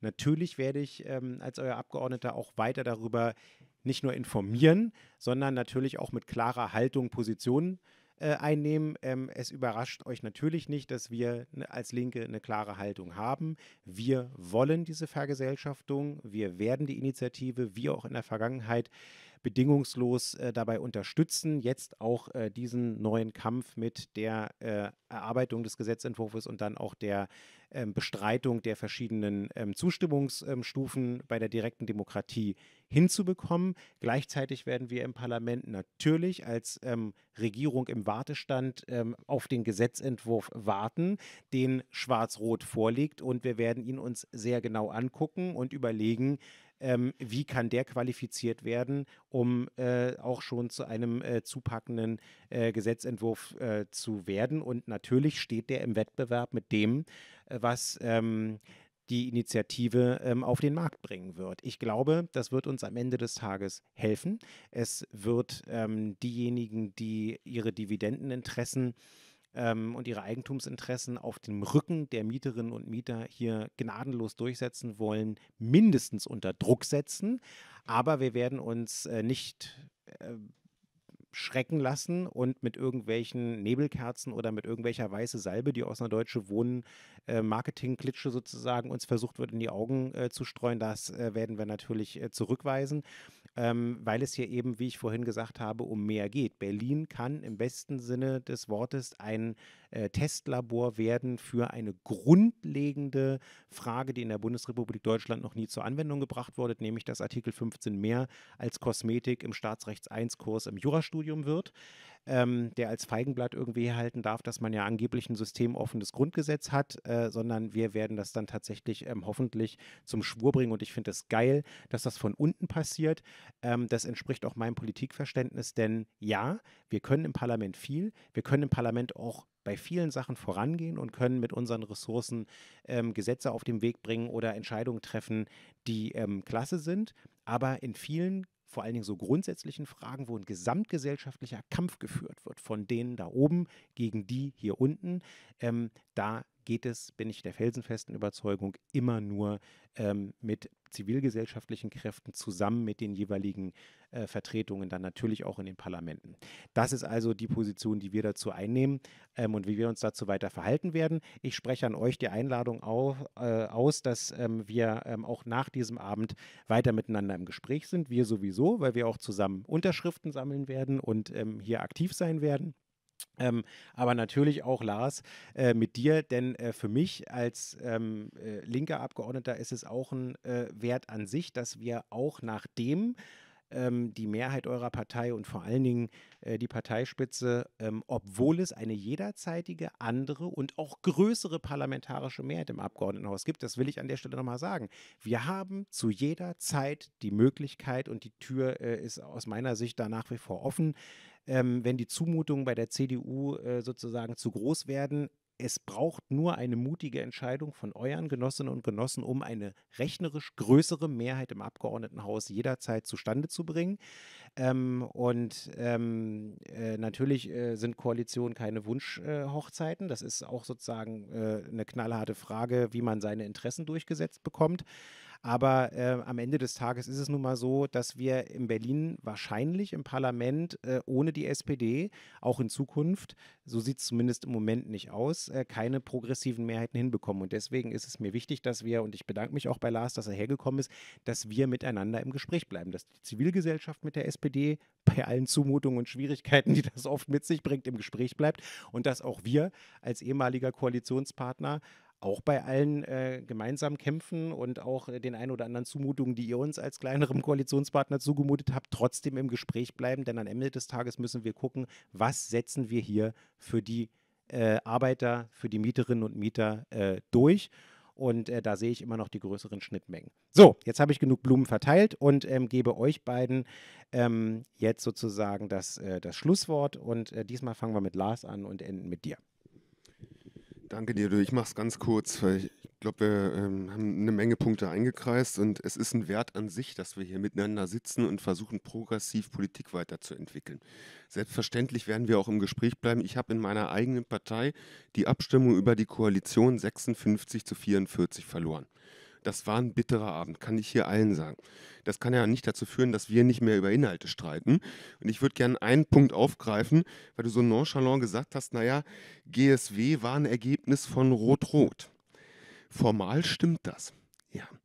Aber politisch gesprochen und von der Analyse her war der GSW-Verkauf ein Ergebnis des politischen Bankenskandals der CDU. Und das muss man auch mal so benennen weil wir waren, ich war ja gar nicht dabei, ja, ich kann ja mal viel hier schwätzen, aber wir waren Anfang der Nullerjahre als Berlin wirklich am Ende.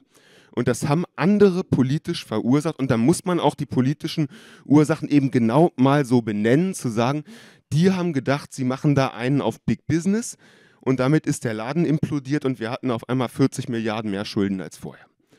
So einfach, um das einmal gesagt zu haben. Deshalb glaube ich, wir können uns auch nicht immer auseinander dividieren. Und natürlich ist das hakelig in Koalitionsausschüssen dann wieder über den Spiegelstrich zu streiten. Das ist doch aber nicht unser Thema. Unser Thema ist doch, wie kriegen wir es hin, eine linke, gemeinsame, progressive Stadtpolitik zu machen und den Leuten auf dem Mietenmarkt wirklich zu helfen.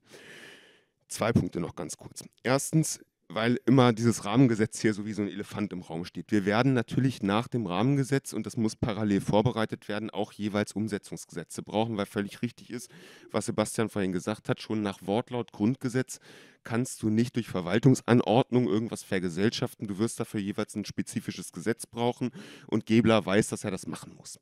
So, das muss parallel vorbereitet werden. Ich bin ganz sicher, dass das kommen wird. Und ein letzter Punkt, weil wir uns auch da immer so ein bisschen kleiner machen, als wir eigentlich sind.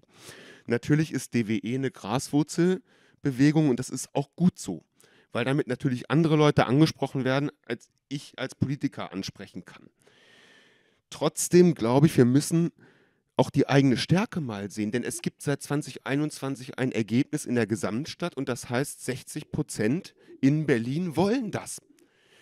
Wir sind hier nicht die Outlaws oder irgendwie ja, so.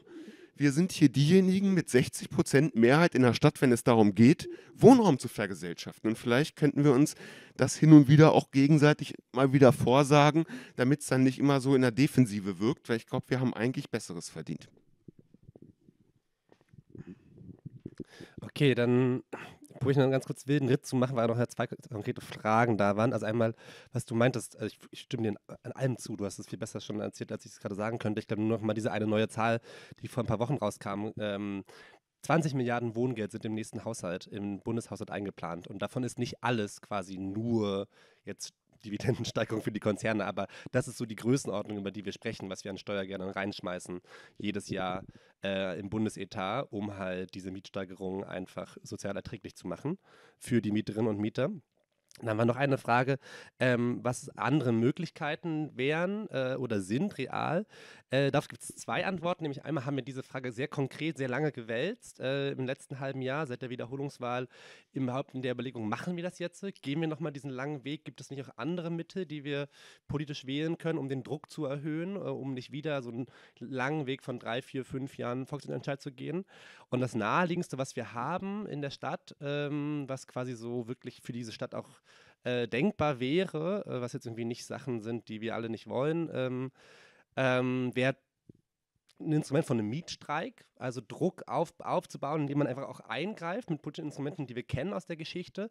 Das ist aber, das ist total schwierig. Das ist im Bereich, im Mietbereichen total schwierig. Wir haben da keine Erfahrungen. Wir haben Erfahrungen mit Massendemos. 2019 hatten wir 30.000, 40.000 Leute auf der Straße bei den Mietenwahnsinn-Demos. Wir haben Erfahrungen mit lokalen Kämpfen. Wir haben Jurist Erfahrungen mit juristischen Kämpfen von Häusern, die sich gegen ihren Vorkauf wehren, etc. etc. Das hatten wir noch nicht, aber das ist so, das ist anders als im Betrieb, weil mit im Betrieb hast du, du hast eine Streikkasse und du kannst direkt eingreifen in den Betrieb und hast ein direktes Machtmittel. Wenn du quasi im, in, im Mietbereich eine, eine, Etage höher ziehen willst und sagen willst, verdammt, zwei Jahre lassen die uns warten, jetzt zünden wir die nächste Stufe, weil wir richtig sauer sind, dann, hat, hat, haben, dann ist es nicht so einfach, weil wir keine kollektive Absicherung so gut haben, weil dann die einzelnen Mietverträge gekündigt werden können, wenn du aufhörst, Miete zu zahlen. Deswegen ist es im Bereich von Daseinsvorsorge und von Mieten ganz schwieriges Feld. Und deswegen haben wir gesagt, so, nee, das ist, das ist schwer vorstellbar, da andere also auf verschiedenen Wegen eine, Stufe höher zu gehen und zu sagen, so, jetzt zeigen wir es denen aber wirklich, dass wir nicht mehr warten. Und deswegen gehen wir jetzt diesen Zwischenweg, zu sagen, wir wählen wieder diesen Weg von direkter Demokratie und bauen nebenbei her wieder eine die Mietenbewegung aus, äh, weiter aus, so wie wir sie auch kannten 2018, 2019 mit einzelnen Kämpfen um Häuser in allen möglichen Ecken der Stadt. Ähm, Genau, das, das brauchen wir auch wieder, aber das funktioniert. Halt, die letzte hatten wir ja, glaube ich, in, in, in Pankow, das vom Mietenwahnsinn Bündnis, da waren wir 800 Leute. Und das müssen wir wieder ändern. Und da müssen wir auch neu verstehen, so ein bisschen. Deswegen fängt es auch jetzt Wissen in der Vorbereitung erst an, dass sich auch die Themen verändert haben. Wir haben einfach die Klimakrise mittendrin quer liegen, auch mittlerweile in Mietenthemen. Und wir müssen uns darauf einstellen, dass in den nächsten zehn Jahren die Auseinandersetzung um energetische Modernisierungen eines der Top-Themen wird. Und als Mietenbewegung haben wir da wenig Erfahrung. Wir haben zu Recht, zu Recht, ähm, wie zum Beispiel in der Otto-Sur-Siedlung 2017, 18, Mieterhöhungen durch energetische Sanierung weggekämpft. Wir haben so lange gekämpft, bis die, das Haus nicht saniert wurde oder anders saniert wurde. Das wird schwieriger im Kontext der sich zuspitzenden Klimakrise. Und das heißt, wir müssen andere Möglichkeiten finden, MieterInnen dabei zu helfen, sich zu wehren und trotzdem, um trotzdem in, notwendige energetische Sanierungen sozial gerecht durchzuführen. Und da stehen wir noch sehr am Anfang und da muss es halt reingehen. Sorry, das wird jetzt wieder total lang. Ähm, und noch eine letzte Frage war ganz kurz, ob man eigentlich im Diskurs sagen kann, wie stark die Mieten sinken, ähm, wenn wir vergesellschaften. Ähm, das ähm, davor haben wir uns immer gescheut. Das werden wir auch niemals machen. Weil eines der größten, eines der größten Kapitale von unserer Bewegung ist, dass die Leute uns vertrauen. Ähm, und dass wir niemals Sachen sagen, die, die nicht mit höchster Wahrscheinlichkeit eintreffen und richtig sind. Und es hat sich immer bewahrheitet. Und das Problem ist, wir kennen die Bestände nicht. Es sind so viele Schrottimmobilien in diesen Konzernportfolios. Wir wissen nicht, ob da so viel gemacht werden muss, wenn man die übernimmt, dass man nicht sagen kann, pauschal ein Euro weniger. Ähm, das, und deswegen, wir, das Einzige, was wir öffentlich sagen, wozu wir auch stehen, ist, wenn wir vergesellschaften, können wir sagen, ab heute Mietenstopp. Fertig, sofort. Das kann man durchrechnen. Aber zu sagen, alle in allen Wohnungen einen Euro weniger, kann man nicht seriös sagen, machen wir deswegen auch nicht, auch wenn es so ein starkes Argument wäre. Aber das werden wir niemals machen. Das Beste, was wir davon haben, ist eine Studie von André Holm. Der hat mal durchgerechnet, wie die Mieten aussehen könnten, wenn man sie über fünf Jahre vom jetzigen Mietniveau dieser Konzerne auf die der landeseigenen absenkt. Aber die sind ja auch teilweise zu hoch. Also, aber das ist das Einzige, was wir haben, was in eine spannende Richtung gehen könnte. Da, da kann man mal nachgucken. Und jetzt mein, mein, mein Abschlusswort. Ähm, ich finde es auch sehr toll, dass wir weiter, weiter, sprechen und auch, dass wir diese Form von so Mischung von politischen und auch juristischen Veranstaltungen machen. Aber Lars, du hast einen Satz gesagt, äh, dass wir auch stärker in den Vordergrund stellen müssen, was uns eint. Und ich glaube, an dem Punkt müssen wir jetzt Initiative klar sagen, gerade nicht so viel. Und wir brauchen was von euch wieder nach den letzten Jahren, dass ihr was vorlegt, um wieder diesen gemeinsamen Kampf zu haben. Weil wir wenden uns gerade ab vom Parlament und wir wenden uns gerade ab von den Parteien. Und das ist, glaube ich, richtig. Und das muss jetzt auch so sein. Und ich glaube, wenn ihr als Idee vielleicht nur ein sehr, sehr dynamisches Aufbegehren vom linken Flügel habt gegen diese aktuelle Koalition und sagt so, diese Frage ist so dringlich für diese Stadt, dass wir diese, diese Machenschaften der Konzerne beenden und dafür bricht die Koalition und dafür zwingen wir die, äh, unsere, unsere Spitze das zu machen. Und wenn die halt nicht mitmacht, dann muss sie halt auch den Platz räumen. Dann haben wir eine Situation, wo man, wieder nebeneinander stehen kann, glaube ich. Aber jetzt stehen wir gerade nicht nebeneinander. Und das muss man auch einfach mal so klar anerkennen nach den letzten Jahren. Denn genau, und das ist jetzt so ein bisschen der Übergang ich hatte es vorhin schon mal gesagt, für uns ist es als Bewegung jetzt so, wir sind parteiunabhängig, auch wenn natürlich konkrete Parteien uns äh, äh, unterstützen. Für uns wird, werden diese parlamentarischen Fragen erstmal unwichtiger. Wir werden uns auf das, das be, äh, beziehen, was wir am besten können, nämlich MieterInnen organisieren und in die Siedlungen reinzugehen und Stimmung zu machen und Bambule zu machen. Ähm, und wir werden dieses Gesetz schreiben. Und das kostet auch Geld. Und das wird mein Abschluss sein. Äh, wir sind eine 100% ehrenamtliche Kampagne, ähm, machen das alle aktivistisch ehrenamtlich. Dieses Gesetz wird schweineteuer, weil wir quasi alle mögliche Expertise brauchen von Kanzleien, Juristinnen, Ökonominnen etc. Und wir haben gerade eine große Spendenkampagne. Unsere Kampagne war immer von Graswurzelspenden äh, finanziert und soll das so weiter sein. Also falls ihr einen Euro übrig habt oder zwei oder fünf, dann freuen wir uns sehr, wenn ihr uns da unterstützt oder einfach mitmacht. Wir brauchen dieses Geld gerade verstärkt. Wir brauchen auch Honorare für unsere Auftritte. Das war jetzt heute nicht möglich. Deswegen brauchen wir noch mal mehr diese Unterstützung. Ansonsten ähm, Genau, seid wachsam. Wir werden wieder auch verstärkt über, über Zeitungen, über Aushänge, über Plakate in der Stadt präsent sein. Ähm, oder schreibt uns an, wenn was ist, ähm, sowohl zu kon konkreten Anliegen als auch zu anderen Sachen. Und dann, glaube ich, sehen wir uns auf der Straße, in den Siedlungen äh, oder vorm Parlament. So werden wir es machen und äh, der Verein der Berliner Abgeordnetenhausfraktion von den Linken geht da auch mit gutem Beispiel voran. Wir haben in der Vergangenheit schon unsere Diätenerhöhungen, die wir da einzahlen, verwendet, um auch eine große Spende an DWE in der Vergangenheit zu leisten und wir sind auch jetzt gerade davor, ähm, unsere große Jahresspende an euch ähm, zur Deckung der finanziellen, äh, juristischen und anderweitigen Expertisen ähm, sozusagen auch dann entsprechend äh, mit, äh, mitzutragen. Und ähm, das äh, tun wir und darüber berichten wir auch immer regelmäßig. Ja, vielen Dank an euch. Ähm, für Kämpfe braucht man Energie. Lars, bei dir in deinem, bei dir in deinem Laden vor allen Dingen bei dir ähm, auf der Straße und in der Initiative. Danke, dass ihr da wart. Danke, dass ihr alle da wart. Und äh, bis zum nächsten Mal. Wir werden sicherlich im Gespräch bleiben und das Thema wird uns garantiert mindestens bis 2026 und darüber hinaus beschäftigen. Dankeschön. Applaus